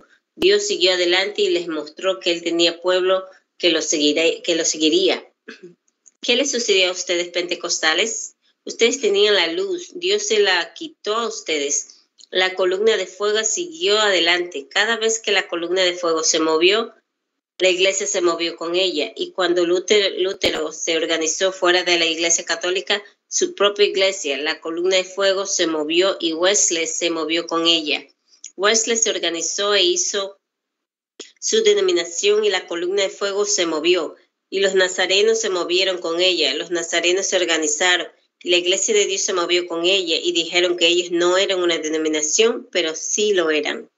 Párrafo 60. Entonces, ¿qué sucedió? La siguiente cosa que sucedió, los pentecostales vieron al fuego, el fuego y salieron. ¿Y qué hicieron? Hicieron una doctrina de hablar en lenguas y la, organizaron. Todos tenían que hablar en lengua antes que ellos recibieran el Espíritu Santo. Entonces Dios se movió y los dejó sentados en donde ustedes, ustedes están. ¿Qué sucedió con ustedes unitarios? encontraron el bautismo en el nombre de Jesús hicieron una doctrina de ello, ustedes mismos se separaron del resto de ellos y Dios se movió y los dejó sentados allí, ¿correcto?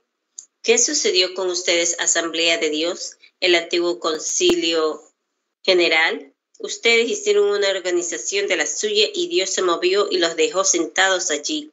Ustedes no son más que un montón formal y frío, como el resto de ellos lo son, y la columna de fuego continúa moviéndose. Aleluya. Todas las mesas están llenas de vómitos. Párrafo 61.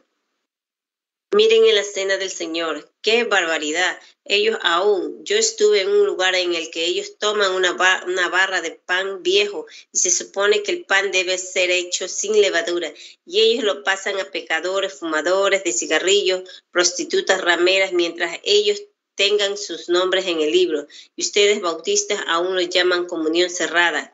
Ahora bien, ustedes bautistas no cacarean tanto. Dios les quitará su silbato. Eso es exactamente lo correcto. Ustedes no serán capaces de silbarlo. Comunión cerrada. Ustedes mismos se separaron, pareciendo ser más santos que los demás. Recuerden, este es un tabernáculo, tabernáculo bautista y eso es lo que obtiene. Ustedes mismos se organizan. Oh, ustedes dicen, nosotros no somos una organización. Sí, Ustedes lo son. Seguramente que lo son. Ustedes dicen, nosotros somos un compañerismo. Sí, a cualquiera que entra por la puerta y enseña solamente de la manera que ustedes lo creen, está bien, pero lo excomulgarían de su hermandad. Eso es exactamente lo correcto. Oh, ustedes tienen una manera de hacerlo. También Dios tiene una manera de hacerlo, pero la iglesia de Dios seguirá adelante. La columna de fuego no aceptará eso. Todas las mesas están llenas de vómito. Párrafo 62. Ahora escuchen, ahora estos los va a sorprender a ustedes por un momento. Escuchen mientras leo la palabra. ¿Quién era este? El profeta Isaías. Todas las mesas están llenas de vómito, hasta no haber lugar limpio, comiéndose como perro.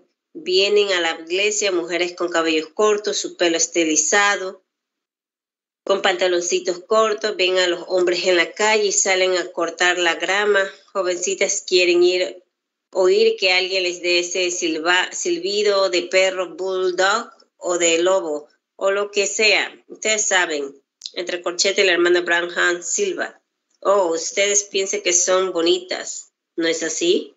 Y ustedes hombres andando en la calle con puro en su boca y siendo un diácono en la directiva.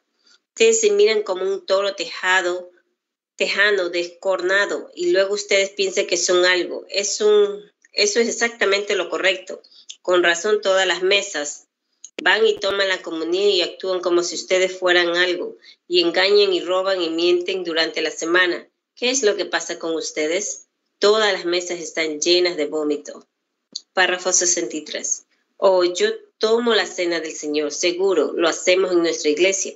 Jesús dijo que nos resucitaría en los postreros días si tomábamos la cena del Señor. Pero aquel que come y bebe indignamente, come y bebe condenación para sí mismo, no discernimiento el cuerpo del Señor, porque está porque esta causa muchos están enfermos y débiles entre ustedes y muchos están muertos, iglesias viejas, formales y muertas. El Espíritu de Dios se ha ido de ustedes, la columna de fuego no está allí más. Ustedes niegan sanidad divina, ustedes niegan la resurrección, o oh, ustedes dicen, o él resucitó de los muertos históricamente. Pero ¿qué de él siendo el mismo hoy? Si él resucitó de los muertos. Ustedes dicen, oh, eso no es así. Ahora bien, allí lo tienen. Ustedes tienen la resurrección de la manera que ustedes la quieren y Dios la tiene de la manera que Él la quiere. Pero la cosa es que la Biblia dice, entre paréntesis, lo que sabemos es la verdad que Él confirmará la palabra y estas señales que yo hago, vosotros haréis lo mismo, y yo estaré con vosotros siempre hasta el fin del mundo. Jesucristo es el mismo ayer, hoy, por los siglos. Eso es lo que la palabra dice. Párrafo 64. Ahora bien, ¿qué es el sabbat? Todas las mesas están llenas de vómito y no hay ninguna limpia. ¿A quién se enseñará ciencia? entre paréntesis, no conocimiento mundano, no conocimiento espiritual. ¿A quién se enseñará ciencia? ¿O a quién se hará entender doctrinas? Oh bendito Dios, nuestra organización no cree esto. Ellos no tolerarían esto. ¿Qué importa lo que su organización cree? Pero ¿qué dice la palabra de Dios al respecto? Ah, bueno, nuestros pastores, ustedes saben, son educados o seguros, seguramente tienen tanta educación que ellos sacaron a Dios del asunto. Verdaderamente porque usted puede decir, decirles la palabra y ellos no le darán la vuelta y dicen, bueno, yo no creo que eso, que es de esa manera. O cobardes, déjeme decirle a usted, párrafo 65. Miren aquí, ¿a quién se enseñará doctrina? ¿A los detestados? a los arroncados de los pechos. El otro día un vecino mío vino y dijo, Billy, un cierto pastor aquí en la ciudad, la persona más amorosa que usted alguna vez ha visto, dijo, mi esposa y yo estábamos sentados con nuestras pijamas puestas como a medianoche y ese pastorcito entró y él bebió café con nosotros y se fue a la casa del otro vecino y los saluda y los saludos de manos ellos estaban teniendo un juegues, juguetito, juguete, uh, sorry, perdón, juguete, uh, juguete, uh, perdón, jueguito, jueguito de baraja. Y él se sentó y jugó baraja con ellos. Dijo, oh, él es la personita más saciable que usted haya visto alguna vez. Dijo, oh, la amamos, no nos deshaciaremos de él por nada. Me quedé allí sorprendido por un momento. Yo pensé, bueno, dijo, oh, ¿no piensa usted que cada iglesia necesita un hombre como ese? Yo no pude contestar eso. Él dijo, en otro lugarcito dijo, ellos tenían un lugar tan bonito. Este ministro y su esposa, gente encantadora, salieron y lidiaron tanto con los niños hasta que establecieron una escuela bíblica. Y dijo, ellos tenían tantos que simplemente sobrepasó el, el cupo de la casa con los niñitos. Dijo, caray, él puede contar toda clase de pequeñas historietas a los niñitos. Yo dije, eso está bien, eso está demasiado bien. Párrafo 66. Yo regresé, entre paréntesis, acababa de venir de Canadá y yo pensé, aquí estoy, hermano, el pueblo. Me pregunto, ¿qué es lo que pasa conmigo? Yo no hago eso. Fui a lavar mi, mi automóvil y pensé, Dios, estoy llegando a ser un hombre viejo y aquí estoy yo he luchado, yo he llorado, he rogado y todo lo que recibo es una blasfemia grande. Todo, dejar que alguien diga algo malo acerca de usted. Ah, el viejo aleluya o algo como eso. Yo pensé acerca de eso y una voz vino a mí diciendo, esos hombres están bien si ellos hacen eso, pero yo nunca te llamé para hacer eso. Yo te llamé para que tomes la espada y te pares allí como Josué y retes. Hermano, no juguetear con cierta sociedad o alguna organización eclesiástica, sino retar al diablo, pararse en el frente de batalla, hacer que el bien sea bien y el mal mal, predicar la palabra y saber quién es el que tiene fe para creerla, exponla sin rodeos. Me procedé a lavar el auto sin parar yo dije, gracias Señor, gracias Señor. Entonces me sentí bien, está bien Señor, yo lo agarraré un poquito más apretada y quiero morir con ella en mi mano. ¿A quién se hará entender doctrinas? Escuchen, mesas llenas de vómito. A los detestados, a los arrancados de los pechos. Ahora fíjense, porque mandamiento tras mandamiento, mandato sobre mandato, reglón tras reglón, reglón, línea sobre línea, un poquito allí, otro poquito allá, porque en lengua de tortamudos y en extraña lengua hablará este pueblo, y a los cuales él dijo, este es el reposo, da reposo al cansado y este es el refrigerio, mas no quisieron oír.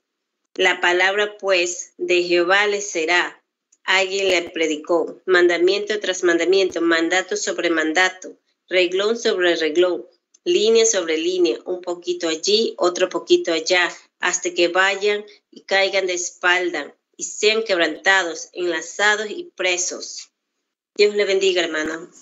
Amén, amén, hermana Erika. Dios le bendiga. Continuamos con este glorioso mensaje. Hebreos capítulo 4, mensaje predicado en Jeffersonville, Indiana, Estados Unidos de América, día 1 de septiembre del año 1957. Voy a continuar en los párrafos 67 al 77. ¿Cuál es el reposo? ¿Cuándo vino el reposo? Cuando el pueblo habló en otras lenguas y tenía labios del tartamudo, labios de tartamudo, ellos no hablaron nada, tartamudearon. ¿Cuándo sucedió eso? En el día de Pentecostés, cuando el Espíritu Santo vino. Ese es el reposo, el Espíritu Santo. Jesús dijo, venid a mí todos los que estéis cansados y cargados, y yo les daré reposo. Yo les daré vida, vida eterna soy la vida propia de Dios. Dios entrará en usted y será una parte de usted. Él le dará un nacimiento y lo hará un hijo y una hija. Párrafo 68. Ahora fíjense, ese fue el tercer reposo que Él dio. El primero, Dios lo recibió de su obra. El segundo, Israel lo recibió en la ley. El tercero, la iglesia lo recibió como una parte de Dios. Repetimos esta parte muy importante. Párrafo 68 estamos lecturando. Ahora fíjense, ese fue el tercer reposo que él que le dio. El primero, Dios lo recibió de su obra. El segundo, Israel lo recibió en la ley. El tercero, la iglesia lo recibió como una parte de Dios. Tres es el número de vida. ¿Cuántos saben eso? Cada vez que ustedes vean tres es vida. Fíjense, cuando Dios creó la tierra en el tercer día fue la vida. ¿Cuántos saben eso? El tercer día vino vida allí en el tercer día de la creación. La Trinidad. El Padre estaba por encima del pueblo en la columna de fuego. El Hijo era un hombre quien habló al pueblo y los preparó. El Espíritu Santo era el tercer paso, el cual era el Espíritu Santo, Dios en el pueblo, vida, Padre, Hijo, el reposo de Dios, el reposo de Israel y el reposo de la iglesia, el guardar el sabbat. Párrafo 69. Así que si usted nunca ha recibido el Espíritu Santo todavía, usted nunca ha entrado en el reposo de Dios. Usted no tiene que decir, ah, yo no quiero, yo no pudiera, yo quiero fumar y yo, yo simplemente no pudiera. Yo soy un cristiano.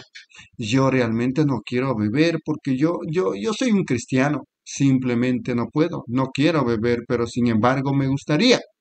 Si usted codicia mujeres, si usted hace todas estas cosas impías, usted nunca ha entrado en ese periodo de reposo todavía nunca ha entrado en su reposo.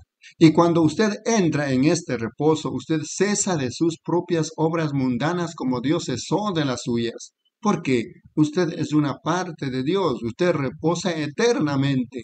Allí lo tiene usted, ese es el sabbat. Venid a mí todos los que estáis trabajados. Hoy Él determina un cierto día, después de tanto tiempo, por medio de David, cuando oyereis su voz, no endurezcáis vuestros corazones. Párrafo 70. Solamente una, dos palabras más aquí ahora y terminaremos. Porque el que ha entrado en el reposo de Cristo, venid a mí todos los que estéis trabajados y cargados. También ha reposado de sus obras, como Dios de las suyas en el séptimo día las suyas pudieron haber sido en el año 30, en el, en el año 40 o en el quinto año, el que haya sido, usted ha cesado de sus obras como Dios de las suyas eternamente, usted ya no quiere más las cosas del mundo, el mundo está muerto para usted. Ahora, el versículo onceavo, ahora pongan atención. Procuremos pues entrar en aquel reposo. No este, no este, pero este, para que ninguno caiga en semejante ejemplo de desobediencia. ¿Qué es? La columna de fuego está aquí. El ángel del Señor está con nosotros. Él está haciendo las mismas cosas que dijo que él haría. Y la gente tropieza y dice, ahora, ah, bueno, yo pienso que eso está bien, eso está muy bueno. Oh, yo pienso que está bien. Tenga cuidado que no caiga usted en la misma trampa de incredulidad. Usted tómala con todo su corazón. Párrafo 71. Fíjense, porque la palabra de Dios no la doctrina de la iglesia. La palabra de Dios es viva y eficaz y más cortante que toda espada de dos filos. Escuchen, y penetra hasta partir el alma y el espíritu, las coyunturas y los tuétanos. Y escuchen, y discierne los pensamientos y las intenciones del corazón. ¿Qué era eso? El Espíritu Santo puede venir y decir, usted hizo cierta y cierta cosa, y usted hizo esto e hizo eso. Usted tiene esta clase de enfermedad y eso. Si usted hace esto bien, usted hará eso bien, discernidor de los pensamientos. Y la gente dice, ¿qué es eso? Ah, eso es telepatía mental. Ah, eso es una, él es un adivinador. ¿Ven lo que quiero decir? Es un mundo malo, adulterino, que no conoce a Dios. Párrafo 72. Ella es viva, eficaz, más poderosa que una espada de dos filos y discierne los pensamientos y los intentos del corazón. Ahora bien, ¿quién es el que conoce los intentos del corazón? Dios. Usted dice, bueno, la Biblia dice que la palabra de Dios, la palabra de Dios es Dios. En el principio era el verbo y el verbo era con Dios y el verbo era Dios y el verbo se hizo carne y habitó entre nosotros. Dios discierne los pensamientos. Abraham tenía su espada volteada y su espalda volteada y, y, así también Dios tenía su espalda volteada hacia la tienda y Sara se rió y Dios se volteó y dijo, ¿por qué se rió Sara? Un discernidor de los pensamientos del corazón. Quiero que eso penetre bien. Entonces cuando esa clase de ministerio se levanta, el que Dios prometió en los últimos días, ¿qué sucede? Es telepatía mental. ¿Qué no lo llamaron ellos al mismo Señor Belcebú? Él dijo, si ellos llamaron al maestro de la casa, Belcebú, ¿cuánto mucho más llamarán a sus discípulos? Párrafo 73. Yo los amo. Eso demuestra que ustedes están lo suficientemente interesados. Ustedes no tienen que venir a un edificio con aire acondicionado para oír el Evangelio. Ustedes están lo suficientemente hambrientos para venir a un lugar como este. Dios nunca nos permitirá edificar algo más que esto. Lo queremos de esta manera, solamente una chocita, pero esa es de la manera que lo queremos. Dios no habita en lo atractivo, Dios habita en humildad, a nosotros nos gusta de esta manera, estamos contentos de venir y ustedes también lo están, de sentarse en un, lugar como este. No importa cuán caliente está, cuánto suda en su nuevo traje, en su vestido nuevo. Eso no tiene ninguna importancia. Ustedes están escuchando vida eterna, la palabra de Dios que conoce los pensamientos de su corazón. La columna de fuego que estaba sobre los hijos de Israel está aquí en esta noche, sobre nosotros. Dios pudiera retarlos. No hay un hombre que pudiera pararse aquí bajo el poder del Espíritu Santo sin que Dios simplemente lo divulgue diciéndole a él lo que era correcto. Allí lo tienen ustedes. ¿Qué es? ¿Qué es? Es el Espíritu, es el mismo Espíritu que guió a los hijos de Israel a su reposo y ellos cayeron debido a incredulidad. No caigan ustedes, esta es la última oportunidad, Padre, Hijo y Espíritu Santo. Vida viene a través de eso. Párrafo 74. Justificación, Martín Lutero, todavía una forma de religión. Santificación, Martín Lutero, Juan Wesley, el bautismo del Espíritu Santo, luz. Justificación es creer, santificación es el limpiamiento. El Espíritu Santo es la llanura, es vida, no a través de la edad luterana. Ellos lo tenían en una forma, no a través de la edad wesleyana. Ellos lo tenían en una forma, pero esta es la edad cuando el Espíritu Santo mismo viene. Y si ustedes no lo han recibido, ¿cómo pueden ustedes creer milagros? Eso requiere a Dios en ustedes para creer. Ustedes actúan como Dios, ustedes saben que Dios, ustedes piensan que como Dios. La Biblia dice que ustedes son menores, dioses menores. Jesús así lo dijo, porque ustedes son una parte de Dios. De la misma manera que yo soy un Branham menor y ustedes son una porción de lo que ustedes sean, y es porque sus padres son ese nombre. La naturaleza que ustedes tienen es porque sus padres son de esa manera, es porque ustedes nacieron de ellos. Y la razón que ustedes creen en Dios y creen en milagros y señales y maravillas es porque ustedes son hijos de hijas de Dios. Ustedes reciben vida, la vida viene en el tercero. Muy bien, cuando Jesús subió a la montaña a todas partes que él iba, él se llevaba a, Pedro, Jacobo y a Juan, tres testigos. El tres es el número de vida, lo captan, amor, gozo, paz. Párrafo 75. Ahora bien, vayamos rápidamente ahora al final del capítulo, rápidamente mientras que leemos. Porque la palabra de Dios es viva y eficaz y más cortante que toda espada de dos filos, y discierne aún las las intenciones del corazón y no hay cosa creada que no sea manifiesta en su presencia. Antes bien, todas las cosas están y abiertas a los ojos de aquel a quien tenemos que dar cuenta. Hermano, no hay una mosca que pudiera pararse en un poste sin él saberlo. Todas las cosas están desnudas, hermano. Él sabe cada cosa que usted ha hecho, cada pensamiento que usted alguna vez pensó. Eso es lo que Él es. Nosotros creemos en el de esa manera y cuando Dios entra en nosotros y nos establece en la iglesia, Él pone dones y cosas en la iglesia para operar su ser. Si Dios es ese Dios infinito, entonces Él sana a los enfermos, Él puede levantar a los muertos, Él puede limpiar a los leprosos, hacer que el ciego vea, Él puede dar visiones. Él puede hacer toda clase de estas cosas, obrando a través de su iglesia, porque es Dios en usted, así tiene a la iglesia. Párrafo 76. ¿Cómo esa iglesia llega a ser una iglesia? ¿Por unirse? No, Señor. ¿Por un saludo de manos? No, Señor. ¿Por un bautismo de agua? No, Señor. ¿Por membresía? No, Señor.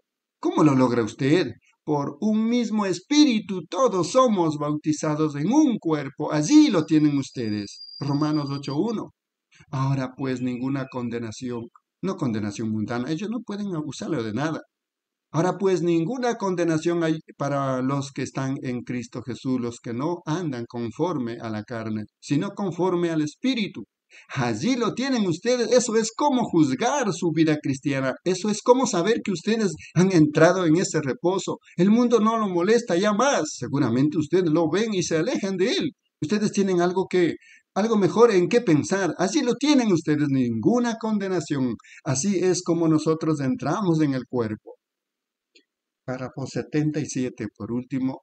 Y ustedes están seguros para siempre. La Biblia lo dice así. Miren aquí en Hebreos del capítulo décimo. Él dijo, pero en estos sacrificios cada año se hace memoria de los pecados. Pero Cristo, habiendo ofrecido una vez para siempre un solo sacrificio, bendito sea su santo nombre, porque con una sola ofrenda hizo perfectos para siempre. Aleluya, no para el siguiente avivamiento, sino para siempre. Las cosas viejas han pasado y todas las cosas han llegado a ser nuevas. Nosotros estamos caminando en la luz, la luz hermosa, los pájaros cantan diferente. Mirando a esta alcohólica sentada aquí hace uno como, como unos cinco años, yo creo. Roselia con los ojos hinchados, caminando en las calles de Chicago borracha contorneándose, entrando en toda clase de pecado que había allí, borracha y metida en cada cosa que podía estar. Y una noche el Espíritu Santo, que es más vivo y más eficaz que una espada de dos filos, dio, dijo, mujer, tú eres una alcohólica. Aleluya. Si ese no era el mismo Dios que estuvo allí muy atrás en el pasado, quien supo que Sara se rió por detrás de él, yo no sé lo que Él es. Amén, hermanos, que el Señor Jesucristo los bendiga. Continuamos con la lectura de este glorioso mensaje. Hebreos capítulo 4, mensaje predicado en Jeffersonville, Indiana, Estados Unidos de América, día 1 de septiembre del año 1957. Hermana Narcisa, Dios le bendiga. Continúen los párrafos 78 al 88.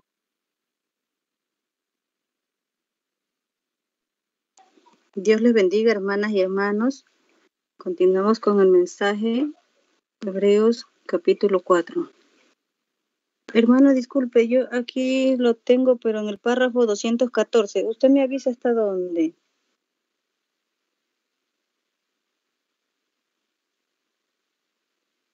Ya, párrafo, párrafo 78.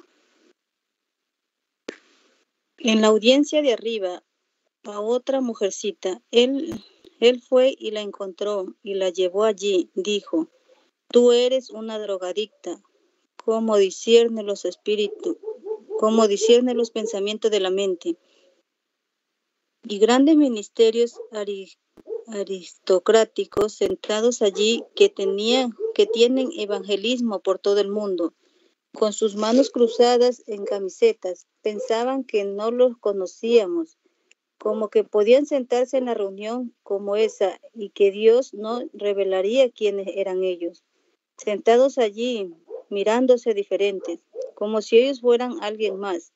El Espíritu Santo supo quiénes eran y ellos sentados allí y en sus corazones pensaron que era telepatía mental.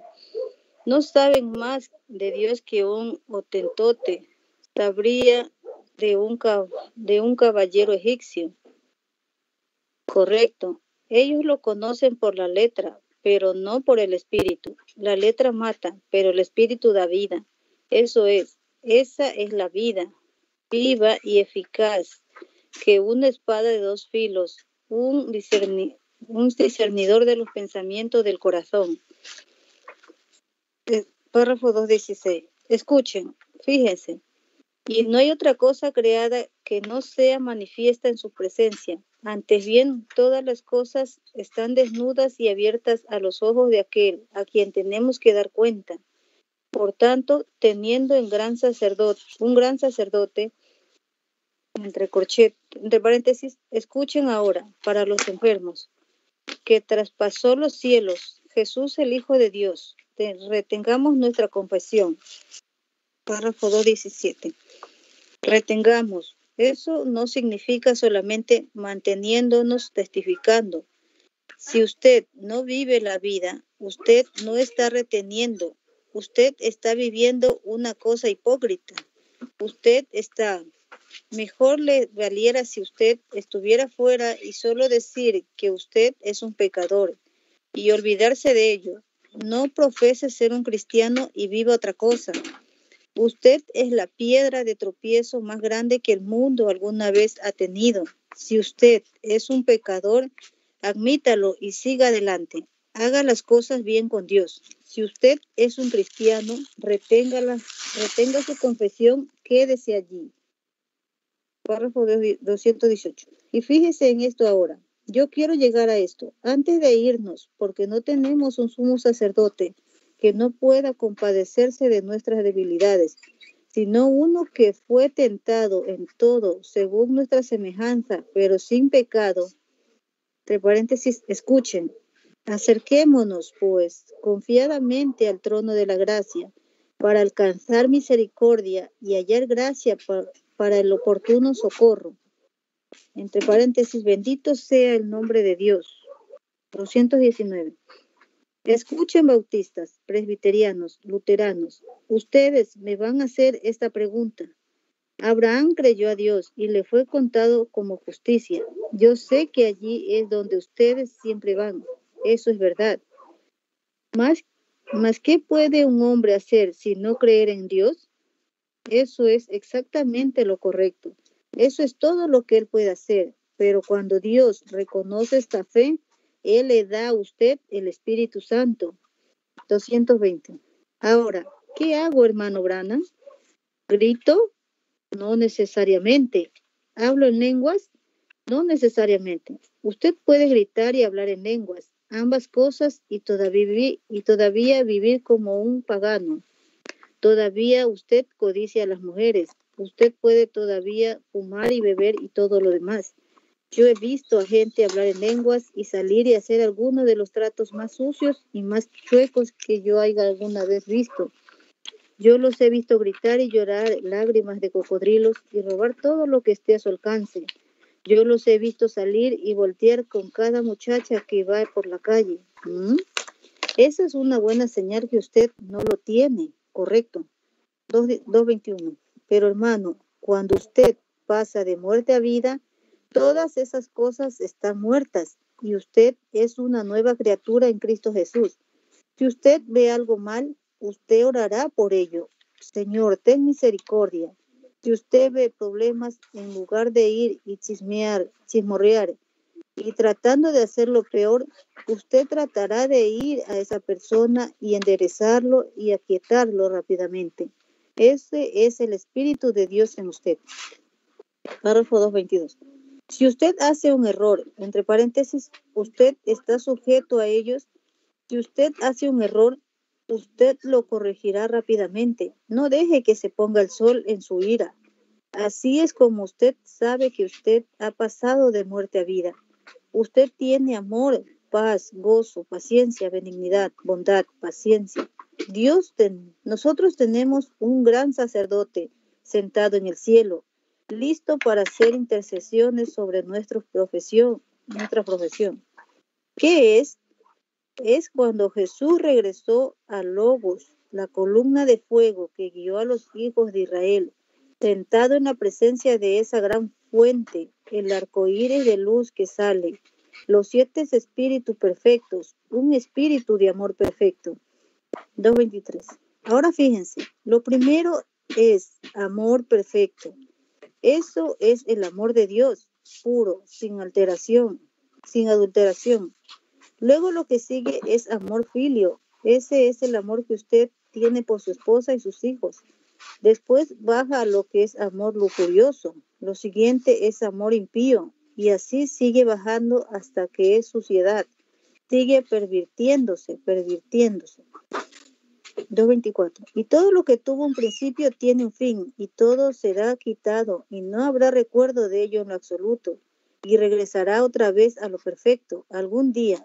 Y la única manera, usted no puede parar aquí a medio camino y subir aquí. Usted tiene que estar dentro todo el trayecto, confiando, descansando completamente en la salvación que Jesucristo le dio a usted por fe. 2.25. Hay un espíritu de honestidad que proviene de Dios. Esa es la fuente, la fuente de Dios. Ese es honestidad. Lo que sigue es un hombre que hará una buena obra por su vecino. Lo que sigue es el sujeto que usted tiene que vigilar. Lo que sigue es un sujeto que es un ladrón. Lo que sigue es un sujeto que es un asesino.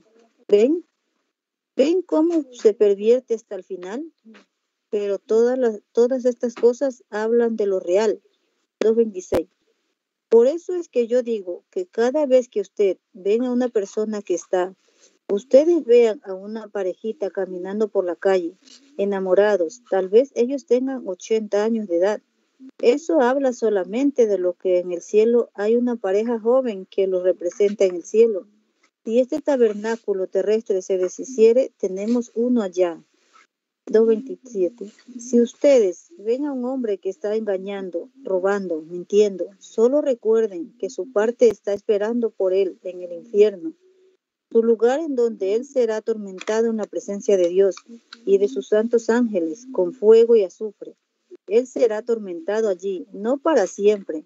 Él no puede ser atormentado para siempre. Para siempre no significa todo por todo el tiempo. Eternidad es para siempre. Eternidad es, no tiene principio o fin, pero para siempre es un espacio de tiempo.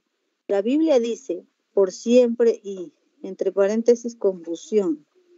Para siempre. Jonás dijo que él estaba en el vientre de la ballena para siempre. Es un espacio de tiempo. 2.28. Pero miren, solamente hay una vida eterna y esa es Dios. Y esa es Dios. Y si ustedes van a ser atormentados para siempre y nunca pueden morir, ustedes tienen vida eterna. Ustedes no pueden ser atormentados eternamente. Ustedes pudieran ser atormentados por unos 100 años, por unos 100 millones de años en la presencia de Dios y sus santos ángeles, con fuego y azufre. Yo no sé cuál, yo no sé cuán largo es su juicio, pero finalmente tiene que llegar a un fin, porque tuvo un principio y Dios por sí, y Dios por sí mismo tiene vida eterna. Aquel que oyó mis palabras y cree en el que me envió, entre paréntesis, no tiene vida para siempre, tiene vida eterna. Esa vida que empieza, no nada de aquí, sino de allá arriba, vida eterna, Zoe. La propia vida de Dios desciende y habita en el hombre y Él es eterno con Dios y no puede morir. Eso es lo que la palabra dice. 2.29. Solo piénselo. Hay dos vidas, hay dos eternas. Ustedes no pudieran contestar eso. ¿Pudieran? Hay una vida eterna y esa es la vida de Dios. Esta otra clase de vida, no importa lo que es, tiene un fin. Y todo lo que tuvo un principio tiene un fin. Pero todo lo que no tuvo principio no tiene fin. Y Dios dijo que Él no daría vida eterna sin principio. Fuimos hechos simplemente una parte de Él. Y de hecho, la vida que está en nosotros no fue traída aquí por naturaleza humana. La naturaleza nos dio un espíritu, pero ese espíritu murió y nosotros recibimos el espíritu de Dios. Gloria a Dios. 2.30. ¿Fue Dios un hombre? Seguramente, Hagamos al hombre a nuestra propia imagen. ¿Qué era Dios? Una teofanía, un cuerpo, y allí Dios. El hombre fue hecho así, de esa manera, y fue puesto a cargo del jardín. Pero no había hombre en, en el sentido para que labrase la tierra. Entonces él creó al hombre del polvo de la tierra, en el plano de la vida animal, y ese hombre labró la tierra. Y el hombre cayó por transgresión, correcto. Y Dios, la teofanía, descendió y se hizo carne y habitó entre nosotros para, para redimir al hombre. 2.31. Así que no es nada de lo que usted pueda hacer. Usted es un pecador para, para empezar. Usted fue formado en iniquidad. Usted es nacido en pecado. Vino al mundo hablando mentiras. Usted nació aquí en este mundo por un deseo sexual de, su padre y de su madre. Y usted está en camino al infierno, a más no poder. A mí no me interesa lo que usted haga. Usted pudiera nunca haber mentido, robado, haber guardado cada mandamiento y todo lo demás. Y usted irse al infierno como un, pájaro a su nido. Pero de la única manera que usted puede vivir otra vez es aceptar el Espíritu Santo, la vida eterna de Dios. 2.32. ¿Qué es lo que qué es qué lo hizo? ¿Qué lo hizo lo que usted es? En el principio, cuando el Espíritu Santo dio su calor a la tierra, no había nada más que erupción volcánica. Una florecita de Pascua salió y Dios dijo, eso se mira bonito, sigue dando tu calor. Las florecitas salieron, la grama salió, los árboles salieron, los pájaros, los pájaros salieron volando del polvo, los animales salieron, un hombre salió. 2.33. Ahora bien, ¿cómo fue hecho? ¿Cómo fue hecho? Por el calor del Espíritu Santo, juntando estos materiales, potasio, calcio, haciendo las flores, haciendo los animales, haciéndolos a ustedes. 2.34. Y ahora ustedes tienen un libre albedrío. Dios le da el calor a ustedes y le dice, escucha mi voz, no endurezcáis vuestro corazón como en los días de la provocación. Él decía de aquí, predica la palabra. El evangelio predicado a ellos no les no, no tenían fe de dentro de ellos. Así que no les aprovechó. Ellos lo escucharon, pero ellos no lo creyeron. 235. Dios descendió y les mostró a ellos una columna de fuego. Demostró que sus profetas, señales y maravillas, que Él estaba con ellos. Ellos no lo creyeron. Oh, les gustaba ver los milagros, les gustaba escuchar al profeta, pero en cuanto a creerle, no, le, no lo hicieron. Sus vidas probaron que no lo hicieron. 2.36. Ahora bien, Él dijo, no caigáis ante este mismo ejemplo de incredulidad, porque en estos últimos días a la iglesia gentil Dios le ha aparecido otra vez la misma señal, las mismas maravillas, la misma columna de fuego vindicada, probada. No endurezcamos nuestros corazones y caigamos en esta tentación de allá atrás, de incredulidad, porque nos pudieran, porque nos pudi- pudrir- pudriremos en la tierra y eso será el fin de todo. 2.37. Y cuando el Espíritu Santo toca su corazón, después de tanto tiempo, cuando escuchen mi voz, no endurezcáis vuestros corazones, dice. Hijos míos, esa es la verdad. No miren al, al mensajero, escuchen el mensaje, créanlo. No endurezcáis vuestros corazones como en los días de la provocación. 2.38. Amén, usted- hermana. Dios les bendiga, hermano. Dios te bendiga. Recordando, estamos lecturando este glorioso mensaje, Hebreos capítulo 4, mensaje predicado en Jeffersonville, Indiana, Estados Unidos de América, día 1 de septiembre del año 1957. Para concluir este glorioso mensaje, hermana Reina, párrafos 89 al 97.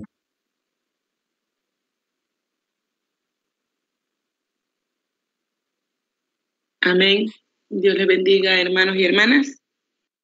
Mensaje Hebreos capítulo 4, párrafo 89. Cuando usted escuche su voz, no endurezca su corazón. Entonces diga a usted, sí, Señor, yo lo creo. Entonces usted entra a vida. El Espíritu Santo entra en usted. Su espíritu viejo muere. El que lo hace codiciar y odiar y maliciar y enemistar y aborrecer y todas esas cosas mueren. Y usted se llena de amor, gozo, paz, descanso. No importa cuánto soplen los vientos, todo está bien. Mi ancla siempre firme está en cada alta tempestad. Mi ancla siempre firme está. Cristo es la roca eternal. Todo lo que es terrenal es movedizo, un arenal. 90. Allí lo tienen ustedes, como Eddie Perronet escribió esa famosa alabanza. Todos los otros terrenos, todas las denominaciones, todos los credos, todas las doctrinas se desvanecen. Cristo, usted dice, bueno, yo sé la Biblia. Usted no obtiene la vida sabiendo la Biblia. Yo sé mi catecismo. Usted no obtiene la vida sabiendo su catecismo. Bueno, yo soy cristiano. Usted no obtiene la vida profesando cristianismo.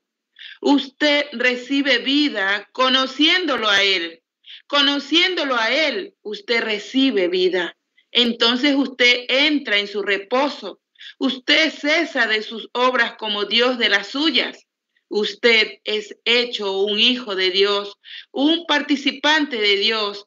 Y si ese, si ese Espíritu Santo lo corteja y usted le responde el cortejo y dice, sí, Señor, o lo arrulla, lo arrulla, venid a mí todos los que estáis cansados y trabajados, yo os haré descansar. Amén. Y usted dice, ah, yo estoy joven, yo tengo, o mi pastor no, todo lo que tengo que hacer, ¿ve? Usted nunca lo, lo encontrará. Párrafo 91.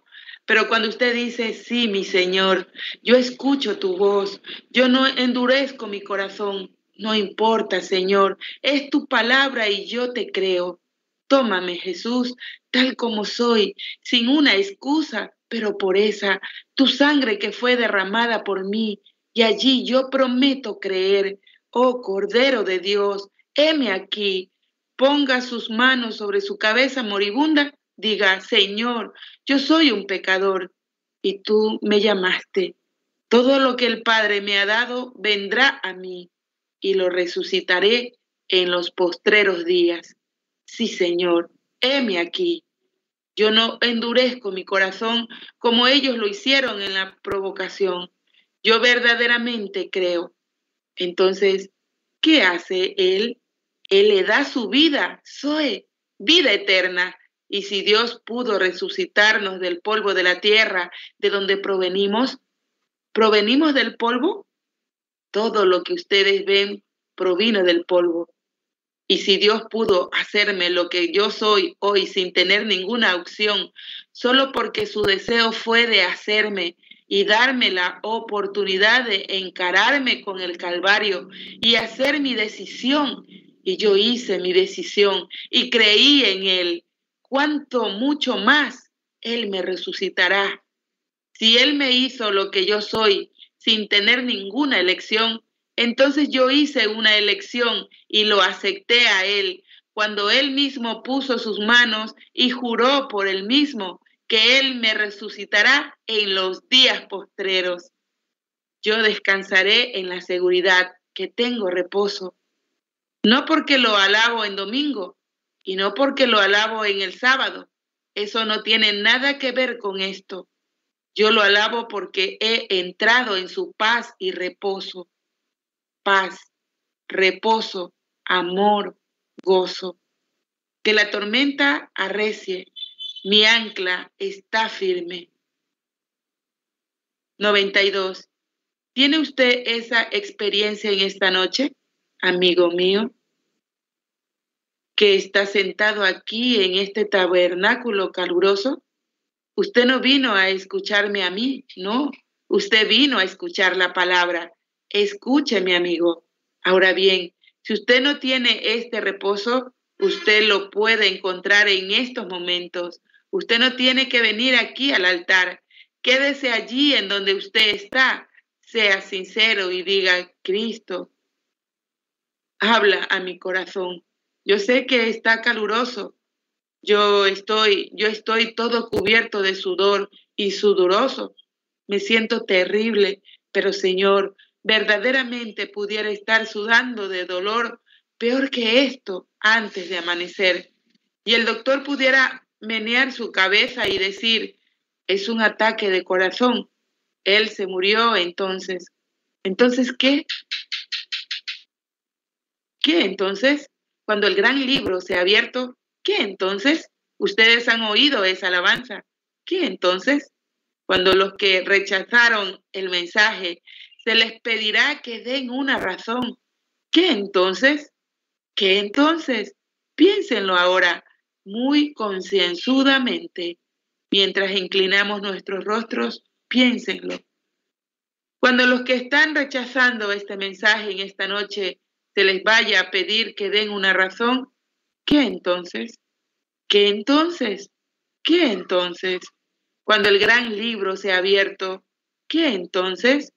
Cuando los que están rechazando este mensaje en esta noche, ustedes se les va a pedir que den una razón. ¿Qué entonces? 93. Nuestro Padre Celestial, todo esto está en tus manos ahora. Aquí está el verdadero Sabbat, puesto delante del pueblo. Aquí está el ángel de Dios. Por los últimos años ha tronado alrededor del mundo. Críticos y todo lo demás han tratado de condenarlo, pero cada vez tú mismo te pruebas ser Dios. El mundo científico, el mundo eclesiástico, ¿están ellos ciegos, Señor? Tal vez hay uno aquí en esta noche que quisiera recibir su vista para continuar caminando hacia adelante y no tentar a Dios como en los días de la provocación, no tratar de tentarlo a Él, siendo bueno el domingo o guardar un cierto día o un cierto credo o pertenecer a una cierta iglesia, pero quisiera salir y ser circuncidado en el corazón y recibir el Espíritu Santo y ellos lo desean a Él por fe ahora. Ellos están tratando de aceptar a Él en sus corazones. Están tratando de encontrar gracia en ti, Señor. 94. Oh, ellos pudieran haber hablado en lenguas. Ellos pudieran haber gritado. Ellos todavía tienen el mismo temperamento viejo. Todavía tienen la misma malicia vieja todavía chismean y hablan y hacen cosas que ellos no deberían de hacer. Ellos no quieren eso, Señor. ¿Qué entonces? Cuando ese gran libro sea abierto y diga, tales no entrarán en el reino, sé pues perfecto, como vuestro Padre en el cielo es perfecto. Todo lo que no alcance eso, no entrará. ¿Están ellos totalmente confiando en esta noche en el crucificado, sino, Señor, permite que ellos digan ese así en estos momentos. Digan, Señor, yo, no hay emoción, sino que yo siento algo muy adentro en mi corazón, que algo me está diciendo que yo puedo hacerlo ahorita mismo por tu gracia y yo ahorita te estoy aceptando a ti como mi Salvador personal yo estoy, yo estoy rechazando todas las cosas del mundo y yo quiero entrar en tu reposo y yo creo que lo estoy haciendo ahorita. Yo creo que el Espíritu Santo me está metiendo directo en ese lugar. 95. Mientras cada rostro está inclinado, ¿alguien se siente de esa manera ahorita? Levante su mano. El Espíritu Santo está ahorita metiéndome en un lugar en donde no chismearé ya más Dios le bendiga. Yo no haré las cosas que mi temperamento se ha ido. Yo puedo vivir en paz y gozo y paciencia. Desde ahora yo creo que Dios me está hablando a mí, que yo puedo hacerlo desde este momento en adelante por su gracia. ¿Levantarían ustedes sus manos? Dios les bendiga. Dios les bendiga, jovencita. ¿Alguien más? Yo creo ahora. No lo provoquen como en el día de la provocación. No piensen que porque nosotros vamos a la iglesia el domingo o guardamos el sabbat, Pablo dijo, ustedes que guardan días o lunas y demás, me temo de vosotros. La ley teniendo una sombra de las buenas cosas por venir y no la misma imagen de las cosas, nunca pueden hacer perfecto al adorador, pero Cristo lo hace a usted perfecto, perfecto delante de Dios él le quita su pecado, quita la condenación de usted, le da su amor y gozo. 96. ¿Entrarían en el reposo ahora? Alguien más levante su mano, diga, yo ya hice eso. Dios le bendiga, jovencita, aquí a mi izquierda. Dios bendiga al hombre sentado a mi derecha, entrando en su descanso. Piénsenlo ahora. Ore, tal como soy, Señor, sin ninguna petición. No soy nada, nada que pueda ofrecerte sino únicamente mi vieja vida pecaminosa gastada. ¿Me recibirás? ¿Me limpiarás? ¿Me darás alivio? Porque yo prometo que creeré. Oh Cordero de Dios, heme aquí. Yo vengo ahora creyendo que he pasado de muerte a vida, porque aquí mismo, en mi asiento, yo te he aceptado como mi Salvador y yo siento paz en mi corazón. Cinco han levantado sus manos. ¿Habrá otro que se sienta de esa manera? Levante su mano. Si usted no es un cristiano, acéptelo en estos momentos. 97. Si usted profesa ser un cristiano y no ha sido esa clase, usted es todavía un pecador. No importa qué vida usted, lo que usted haya hecho o cuánto usted mismo trate de hacerse, lo que usted hace no es aceptado, es lo que él hizo. Su propia justicia no será aceptada si usted para de fumar solo porque usted dijo, bueno, vale más que deje de fumar porque yo profeso cristianismo. Dios no lo acepta. Si usted deja de codiciar mujeres solo porque usted mismo se está esforzando a hacerlo, Dios no lo acepta. Eso es algo que usted hace. Eso son obras. Es gracia lo que lo salva a usted. ¿Ha venido Dios a usted y ha sacado toda la cosa de usted? Esa es la siguiente cosa. Usted dice, yo me uní a la iglesia y tuve que dejar estas cosas. Dios no aceptó eso. Nada de lo que usted pueda ofrecer. Él solamente acepta lo que Cristo da. Él le da a usted vida eterna y le quita la de usted. ¿Lo recibirá? En la tempestad borrascosa. Ven y ancla tu alma en el descanso eternal y di, mi amado mío es, yo he anclado mi alma. Muy bien, ustedes que levantaron sus manos, el mensaje ya se terminó. Adoremos ahora. No vago en tiniebla ya más.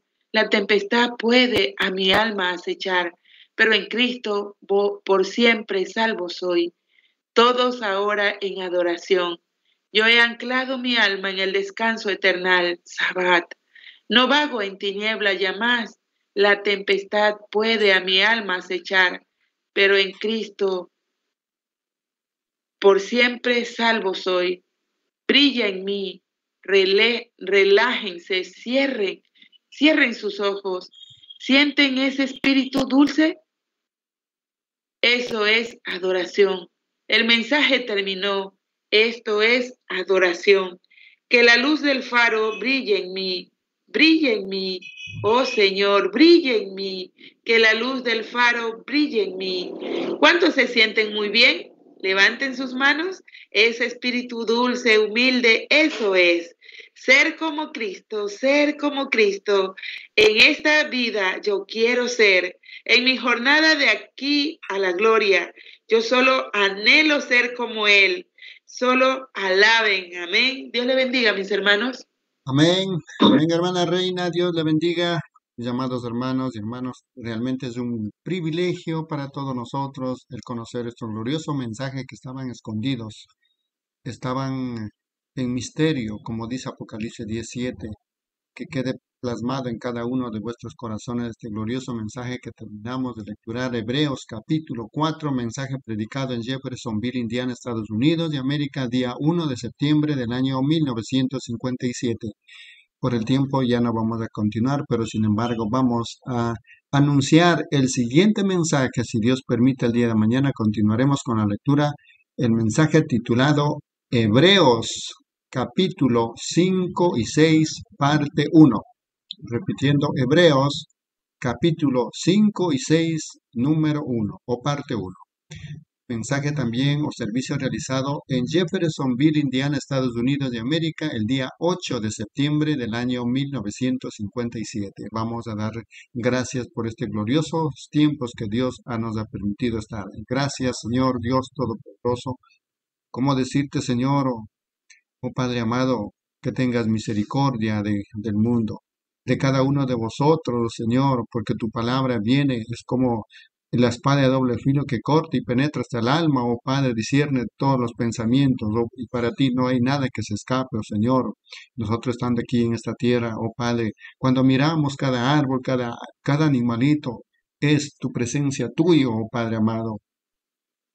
Dice, cada vez que veo un árbol, yo pienso, ese árbol es un negativo, hay un positivo en alguna parte. Ese árbol fue hecho de algo, una inteligencia lo hizo. Y todo lo que esta, esta tierra hace es reflejar lo celestial.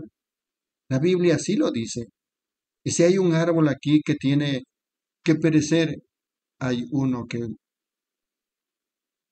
Hay uno en gloria que no perecerá. Entonces nos identifica de que este mundo natural hizo para poder entender lo que es el mundo espiritual. Oh Padre amado, entonces en esta tarde, gracias Señor porque nos instruyes todos los días, oh Padre amado. Sabemos que tú como soldados nos estás perfeccionando para esa batalla grande que estamos recibiendo también de día a día, oh Padre amado. Oh Padre amado, si tienes un día más para el día de mañana, estaremos contentos y alegres para continuar con nuestros gloriosos mensajes, con este compañerismo a través de la lectura de estos mensajes, oh Padre. Bendice grandemente a cada alma, cada corazón que ha estado lecturando, Señor. Bendiga a cada corazón. Bendice, Señor, para que sea glorificado tu nombre, para que sea tu bendición, Señor. Oh Padre amado, los hermanos y hermanas, te decimos muchas gracias por este gran privilegio que tú nos has dado, Señor. Te lo pedimos también, oh Padre amado, que cada minuto, cada segundo, cada instante de, esta vida, sabemos de que estamos pasando como peregrinos en este mundo, Señor. Tú nos enviaste a este mundo, espacio llamado tiempo, Señor, entonces estamos en esto como peregrinos y alguna vez tendremos que regresar. Todo tiene que terminar, como dice la escritura que hemos leído, el mensaje que hemos leído. Todo lo que tiene principio tiene fin, oh Padre amado, y todo lo que no tiene fin, eso es eterno, oh Padre. Gracias, Señor. Muchas gracias, Padre amado. En el nombre del Señor de Jesucristo te pedimos que tú nos bendigas de cada uno de vosotros. Amén, mis amados hermanos. Dios te bendiga a todos. Amén, hermano José, Dios lo bendiga. Amén, hermano. Shalom para todos.